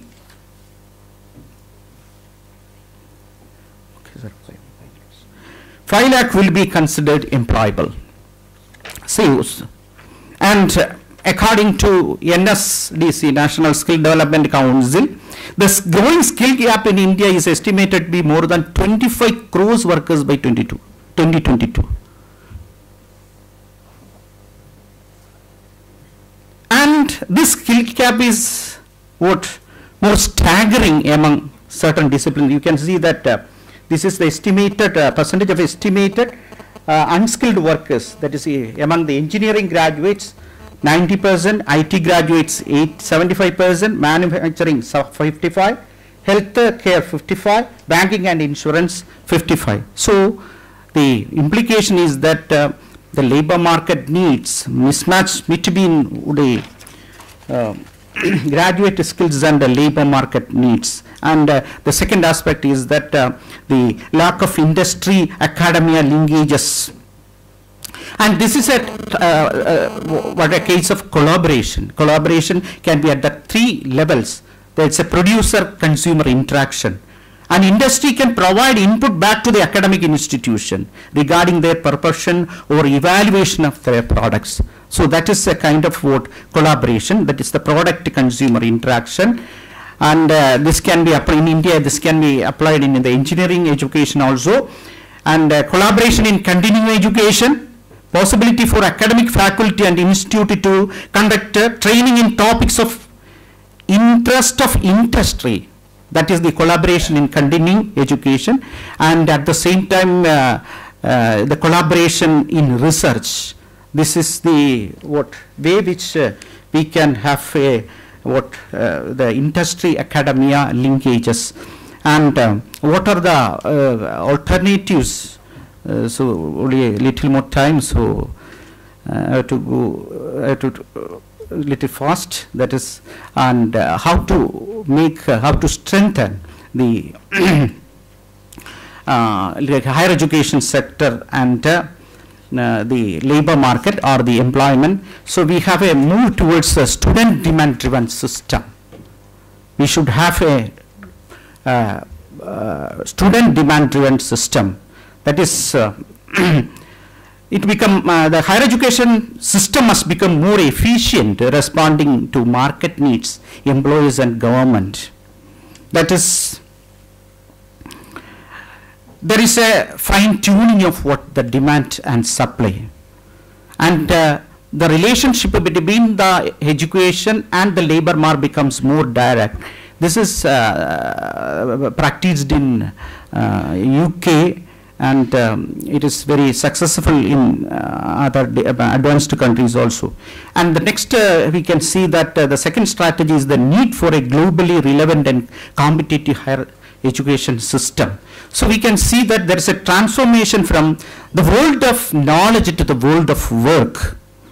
And the main purpose of the university education should be work readiness. Employability has to be considered as a key factor in the curriculum design So we should have an education system that is not best in the world, that should be best for the world. And the third aspect is that strengthen inter industry higher education linkages. And uh,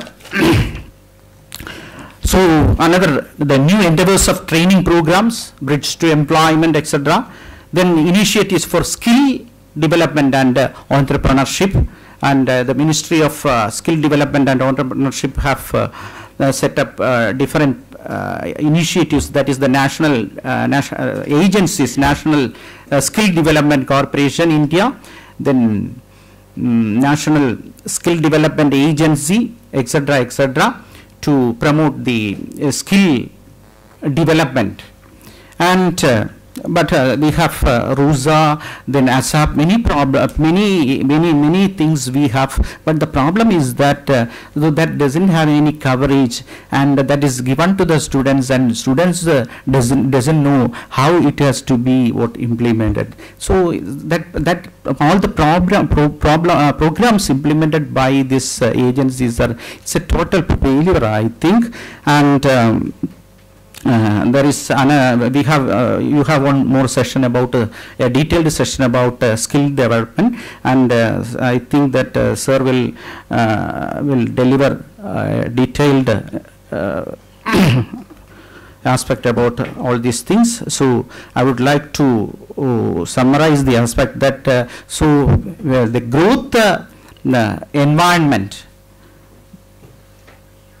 in the globalized that has to be translated into what? The labor market. And uh, across the world higher education is linked to higher levels of employment and life evaluation making it the proverbial ticket to a great job and a great life. Thank you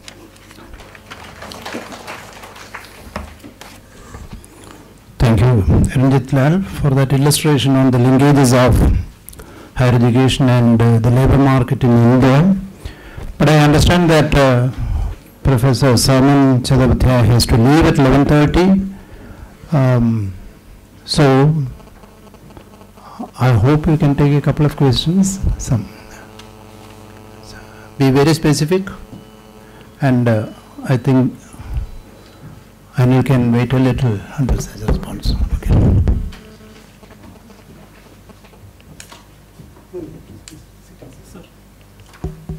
Please. It should always be good if you identify yourself and raise uh, the question, please. So myself, uh, Dr. Dev Kumar. Uh, so my question is, uh, so we have, we are planning to have 10 plus 10 world-class universities. Uh, there is a dream uh, our uh, finance minister has spelled out in the last budget. So with with uh, such kind of institutions, what will happen to the traditional universities at present we are having?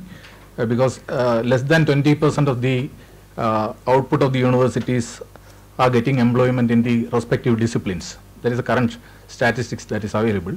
So there will be pressure on that 20% uh, once you have uh, uh, such institutions mostly funded by corporates, PPP or uh, direct funding by the corporates. That is one question. One more question I am having. Uh, so, uh, what will happen to uh, the quality of input? So, once once these institutions they draw uh, quality input from our uh, our country, what will happen to the quality of input to uh, the rest of the universities? That is quality of input because uh, world class institutions when you start naturally uh, students will be interested in uh, joining such institutions so naturally the input quality of the remaining universities uh, will be suffering Excuse me, sir. I'm Vijayashree from Department of Economics. Uh, in one of the newspaper articles by the Hindu, uh, your comment was noted on the bureaucratic outburst of uh, on you know pro policy making and organizational uh, things in educational policy. So uh, whether we follow an input method, input based assessment or output ba- output based one, every time we have such a uh, bureaucratic control over this organizational bodies So uh, their viewpoints will be different from that of an educationalist viewpoint. So how far such a mismatch can be adjusted? Mismatch between? uh, uh, between the policy goals of a bureaucrat, Hmm. their envision will be different from what uh, a, real academician will be having. So uh, there was such a comment on uh, your one of your comment was noted on the Hindu newspaper. I remember. So how far, even if we follow an output or input, whichever method we follow, so how far this can be solved? Hi, sir. So my question is to Professor Chattopadhyay. This is with uh, reference to education as a market. So from your presentation, we could infer that uh, education market is highly asymmetrical. So can you do you think that the adoption of a more unified uh, national curriculum, or at least a reduction in the margin of reservation, wi- will it address the scenario so that we can alter the quality of output? Thank you. Sorry, Yeah, uh, hello. Yeah, here. The reservation. The question was in reservation. How will you, just. Reservation, reduction in margin of reservation or at least adoption of a unified Huh. national curriculum Yeah, yeah. across various disciplines. How will it Krishna? affect? Yeah. Yeah. Sir, this is actually a puzzle uh, and a concern. Uh, because, you know, when we always talk about, you know, education, healthcare, poverty alleviation, etc., the government always says we don't have funds. But then when it comes to defense, government says defense, you know, money won't be a problem at all. And you know, the more worrying aspect is academics. They also, you know, uh, harp on the same string, then saying that, you know, and economics has become a kind of religion and no more a science. I think that was the last question. Uh, sir, one more question, more. sir. Sir, um, from here. Yeah, yeah. Yeah. Sir, um, you talked about uh, education uh, in your EPW article. You talked about education uh, rather than uh, narrowing it down to an instrument of bettering the personal living standards of a person. It should uh, education should come with a social commitment. So where is that particular question being addressed? Because the the solution that we are offering is more public investment in education, but more public funds are going to a sector that is probably centered on market oriented education system. So even the curriculum is based on such a system. So uh, where is the social commitment factor coming? Uh, that is my question, sir. All are very difficult questions. One more question, sir. Okay. Yeah, so you talk about the uh, input-based funding, and uh, uh, I- my question is the is that uh, you actually um, stimulating the universities to uh, to to have a lot of student uh, to produce a lot of students. So, but when you think about the employment rate uh, out, what are the imp- uh, policies that you implement, maybe to to reduce the rate of qualified uh, students in the society? One, one, sorry, last sentence, one. sec- What are the pro- uh, policies that you implement Uh-huh. to reduce the, the rate of qualified students? Rate of qualified. Yes. Rate of qualified students. Yes.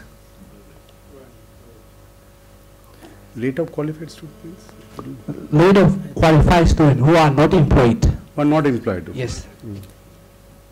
These are the difficult questions we're still struggling to answer. Okay, I can't uh, answer all the questions. Uh, First of all, the world-class university. That is what I briefly indicated, that, you know, uh, the government is in a dilemma. In a democratic country with bewildering diversity and the government is actually in a dilemma. Government at one point of time would be coming up, would be willing to come up with universities which are, we don't feature in the global ranking, it's a sort of, it's hurting our self-esteem. So we want to dedicate resources, give them utmost freedom, assuming that the existing universities are of not, not, but you know, the, uh, I think the MHRD would be asking the universities to apply. That is also part of the system, existing universities, but they'll be treated very, very differently. Uh, so the idea is that not all because higher education, the problem is that one point that you have already indicated, which I forgot to mention in my uh, talk, that you know this market is based on selective efficiency. Input, uh, human quality, the uniqueness is embedded in us. It's not reproducible. So the moment you have selective efficiency, then the students and the teachers are joining and the university is also attracting the best minds, that the hierarchy is inevitable. So the input quality that you're mentioning, it's a part of the system. That's why even in US, 1900, 1950, 2000, if you look at the world ranking of the universities, the best would always remain at the best. You know, some changes are there, but within 10, within 20, they would be. So it's a, it's a problem that, you know, it's a part of the system, but the government is now, at the global level, government is also under pressure.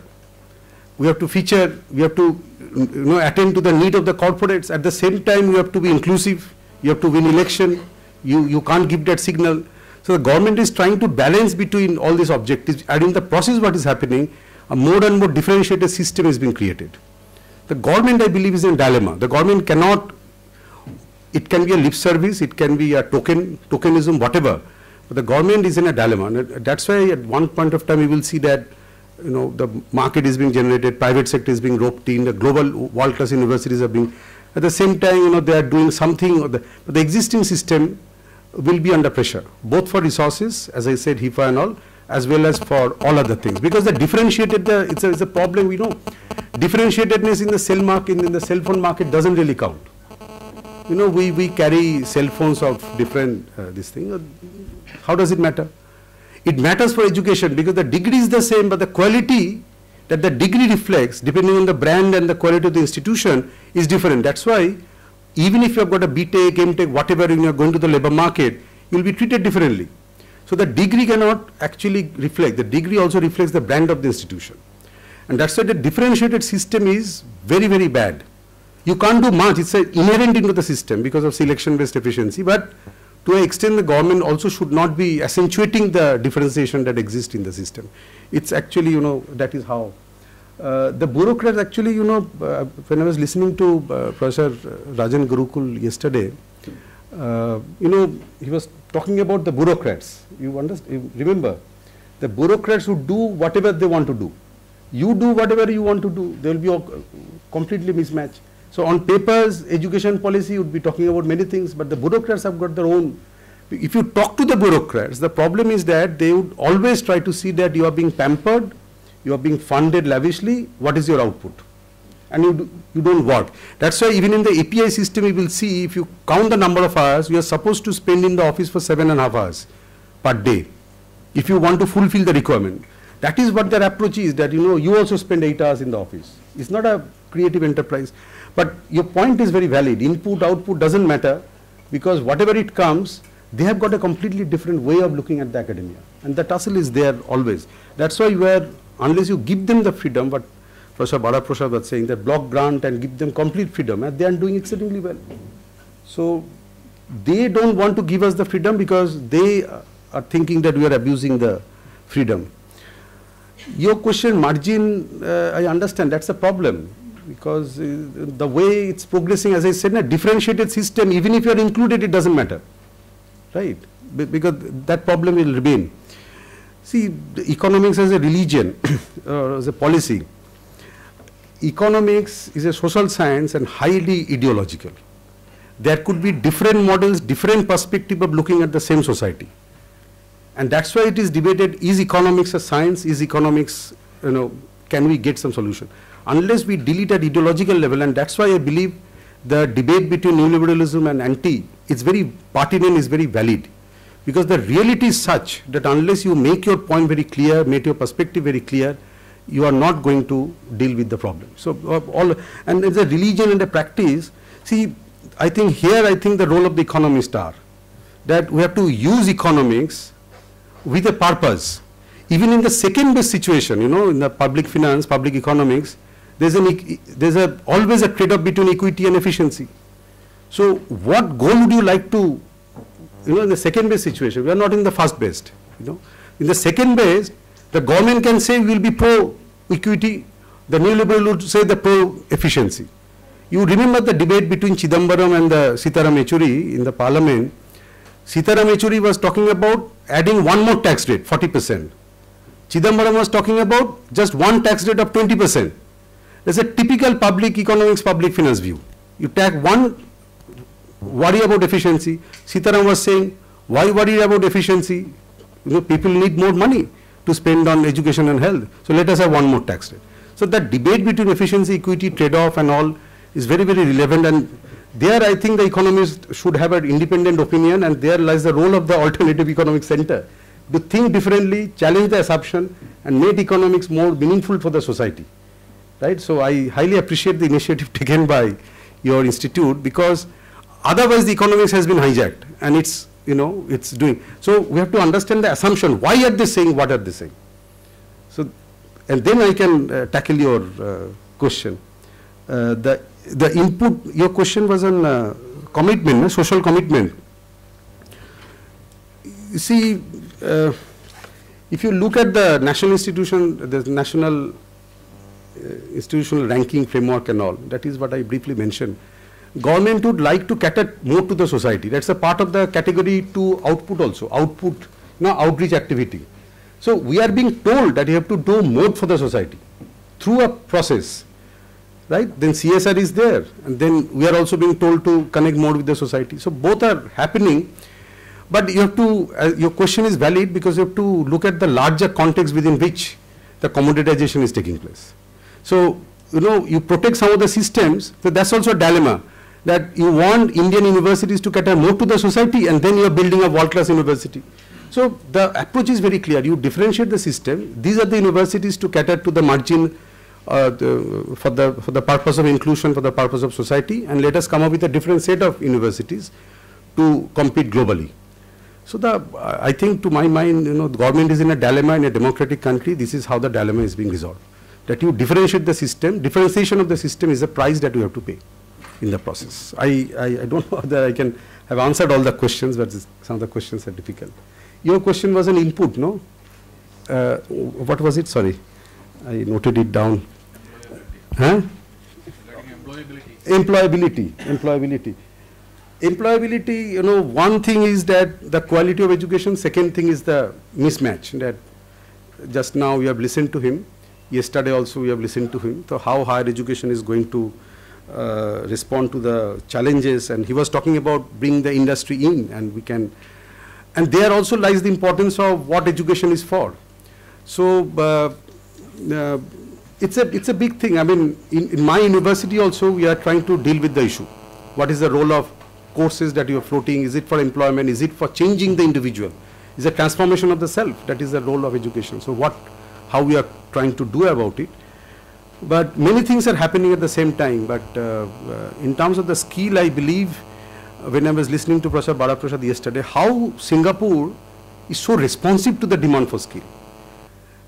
And uh, because they have got a very sound, robust primary education system, they are not worried about values.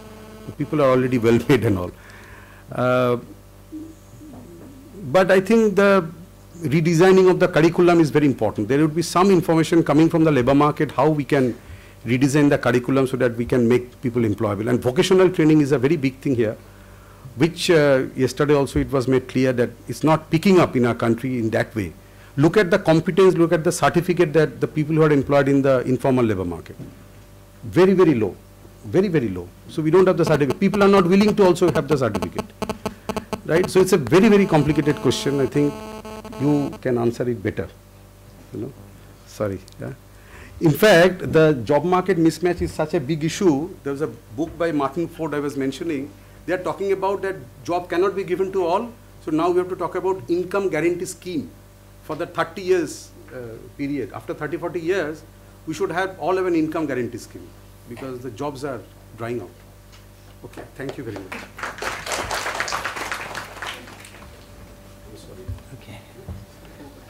Thank you, Professor. And uh, I hope the entire group joins me in thanking Professor Saumen Chattopadhyay for his great presence.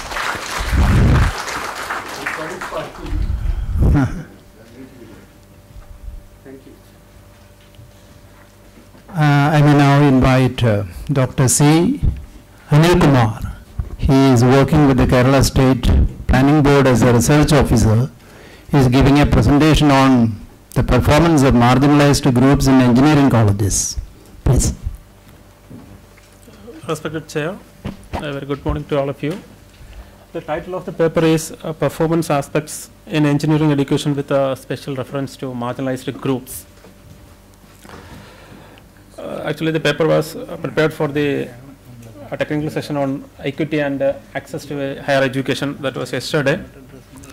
And this is not a detailed research oriented paper, but a situational analysis of engineering education in Kerala uh, with reference to students from marginalized groups.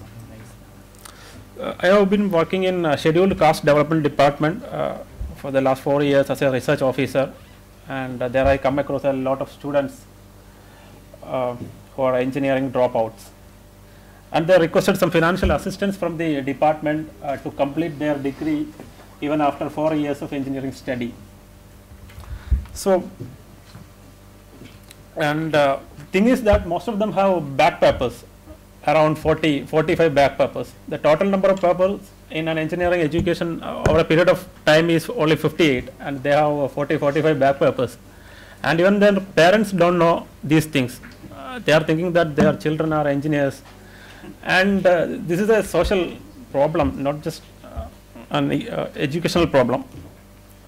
So I made an attempt to understand the intensity of the issue uh, while I was in uh, department and uh, the title of the paper is Performance Aspects in Engineering Education with reference to uh, marginalized groups. The stratification of a society uh, to inequality on the basis of caste is found perhaps only in India.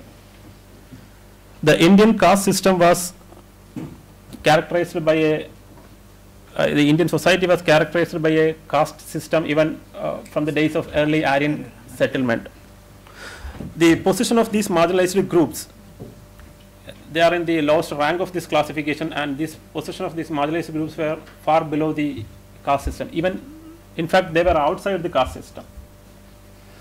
So, the scheduled caste and scheduled tribes, the name was first described in the Government of India Act of 1935 and they suffered uh, economic, political, educational and inequalities for centuries. Under the customary rules of Hindu social order, uh, these uh, marginalized groups were denied right to education, right to property, right to ownership of land, right to employment and the consequences of these traditional restrictions are seen even today in terms of uh, their educational qualification uh, even in the ultimately in the high incidence of poverty. So marginalization is generally used to describe the uh, inability of the marginalized groups to full participation in social, economic, political, educational uh, dimensions of social life. The impact of economic reforms on these marginalized groups can be analyzed through uh, these dimensions and among these uh, education has an important role to achieve a greater degree of social justice and empowerment. So the present study confines to the performance of uh, students, marginalized students in uh, education.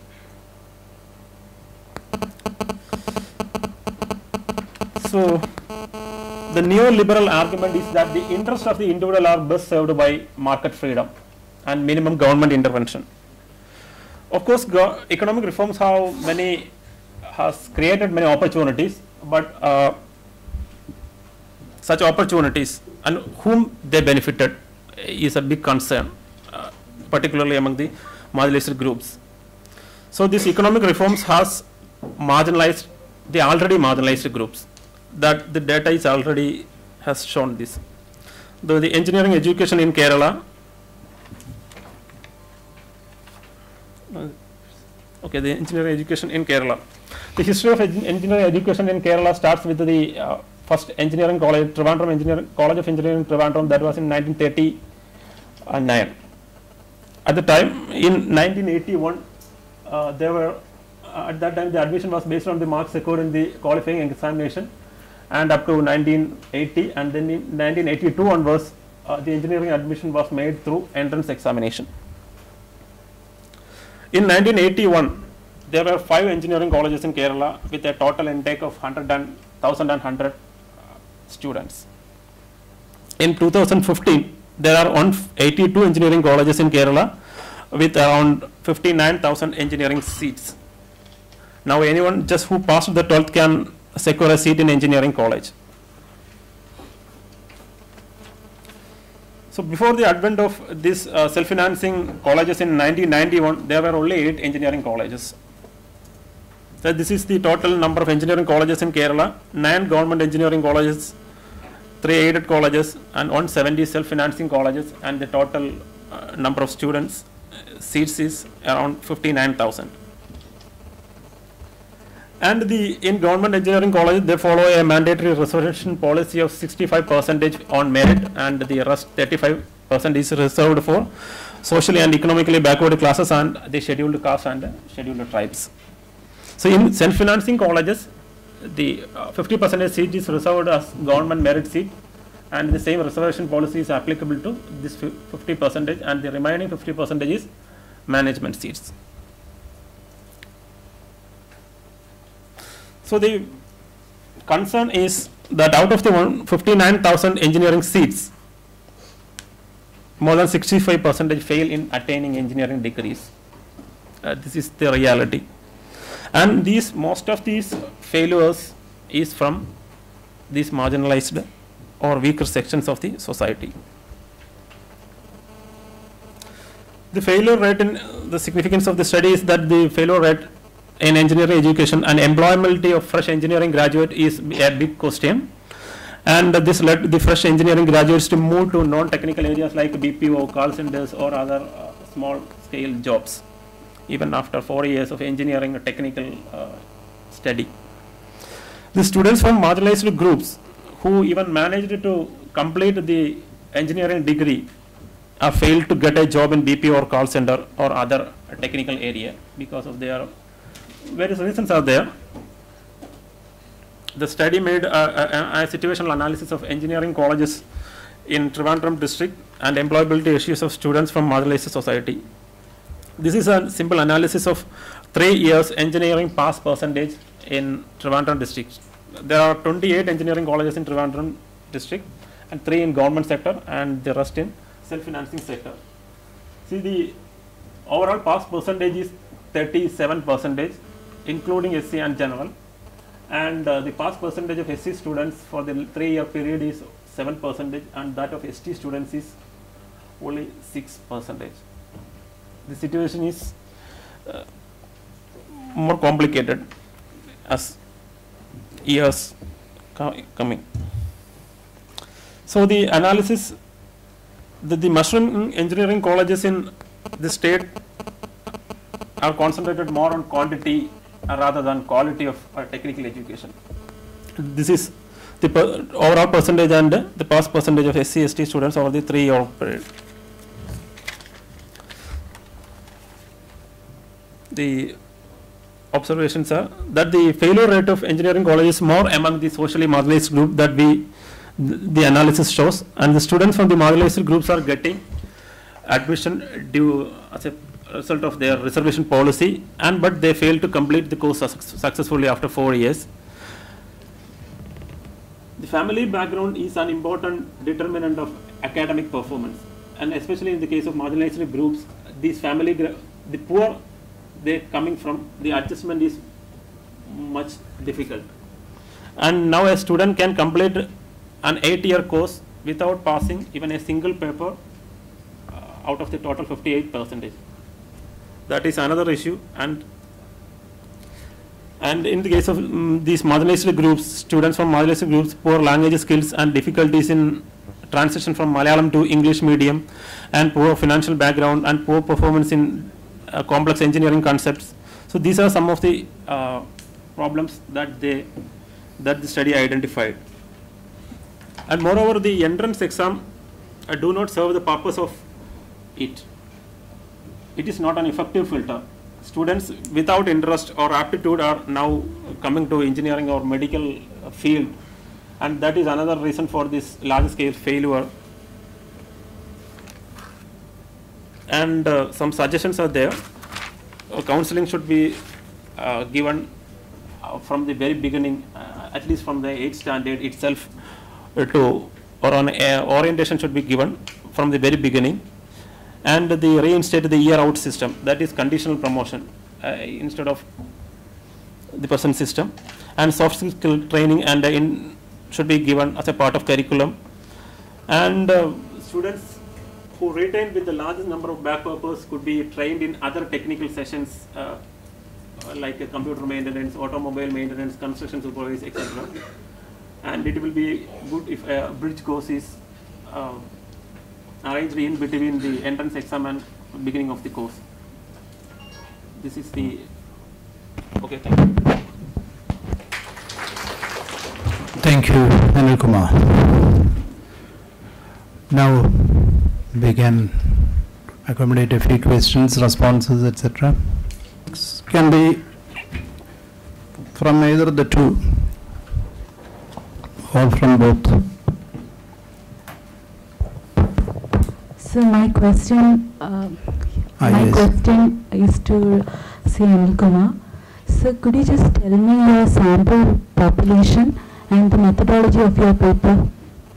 Because you actually presented a secondary data, then you get ahead with the suggestions and observations. In between, I couldn't find your methodology and the sample population. Sir, I have a question to Arjun Lal, sir. Sir, Yes. the question is that you presented in your paper a very relevant topic of the lack of employability. The problem is not unemployment but unemployability. So what are the measures? I need to know what are the measures we can do to tackle the issue of the skill gap or how can we solve the problem of employability? So uh, one question uh, to uh, Arun Lal. Uh, so you call for a market-oriented education reform that uh, addresses the demand-supply gap, but where is the uh, policy solution for addressing the inherent labor inequality?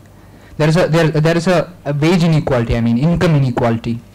I mean the average. Uh, if, if you take a, a work structure, uh, the people at the top are earning 100 times more than the people at the bottom. So where is the provision to address this particular inequality? Thank you, sir.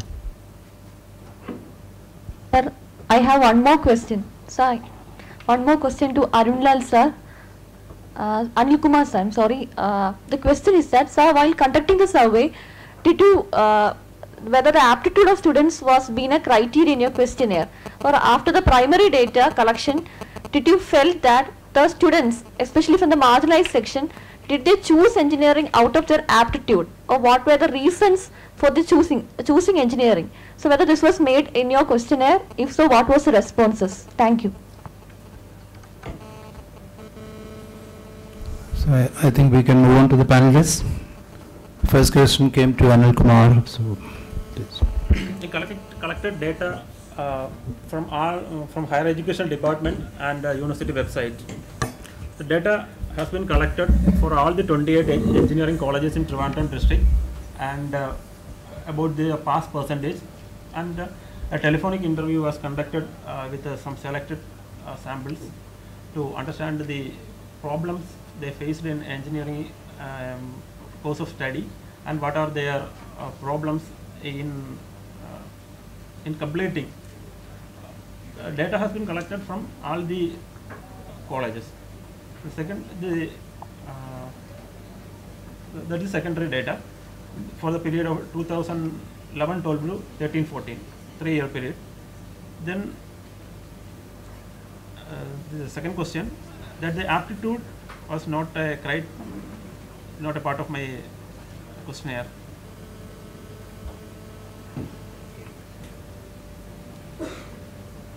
Would you like to respond? So the first question is uh, relating to employability. And employability is different from unemployment. So employability means that uh, the graduate or educated people is fit enough to undertake a work or employment. So what is required is that the educational system should promote, should undertake courses having the multiplicity of that promote the multiplicity of skills. So that to some extent that will enable the educated to undertake uh, what the jobs that is available in the labor market. That is another solution. Right. And uh, another question is uh, regarding the inequality and how the inequality can be addressed, isn't it?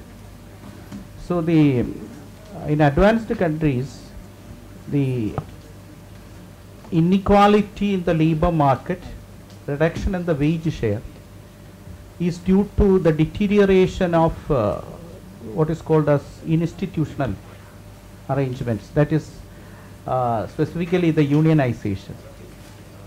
See, and what happens is that uh, jobs and uh, incomes are increasing in favor of the top uh, layer of employees.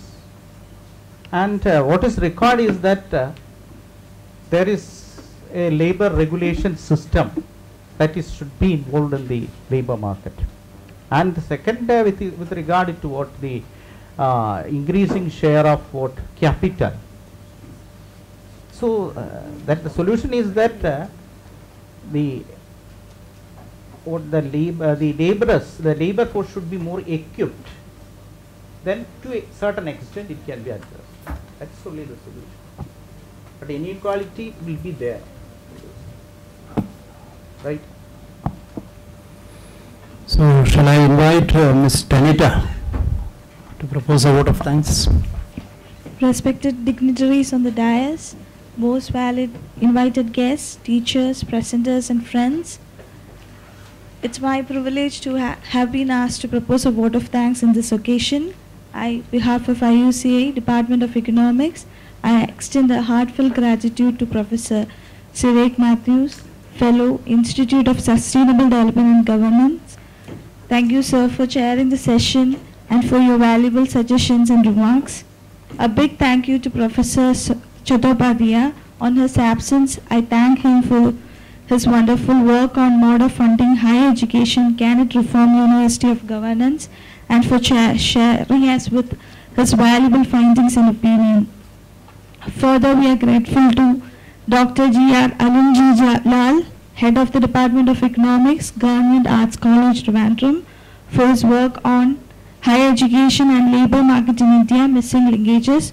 Also, I extend a heartfelt gratitude to Anil Kumar, Research Officer, Kerala State Finan- Planning Board, Trivandrum, his work on performance of marginalized group in engineering education, a case study. Also, I express a sincere thanks to each one of you for your patient presence and participation. Thank you all. I think we'll be coming back soon for uh, the eighth technical session, which will be on higher education in Kerala. Thank you, thank you everybody for the. Thank you all. We'll be having a very short break due to scarcity of time. Be back soon, please.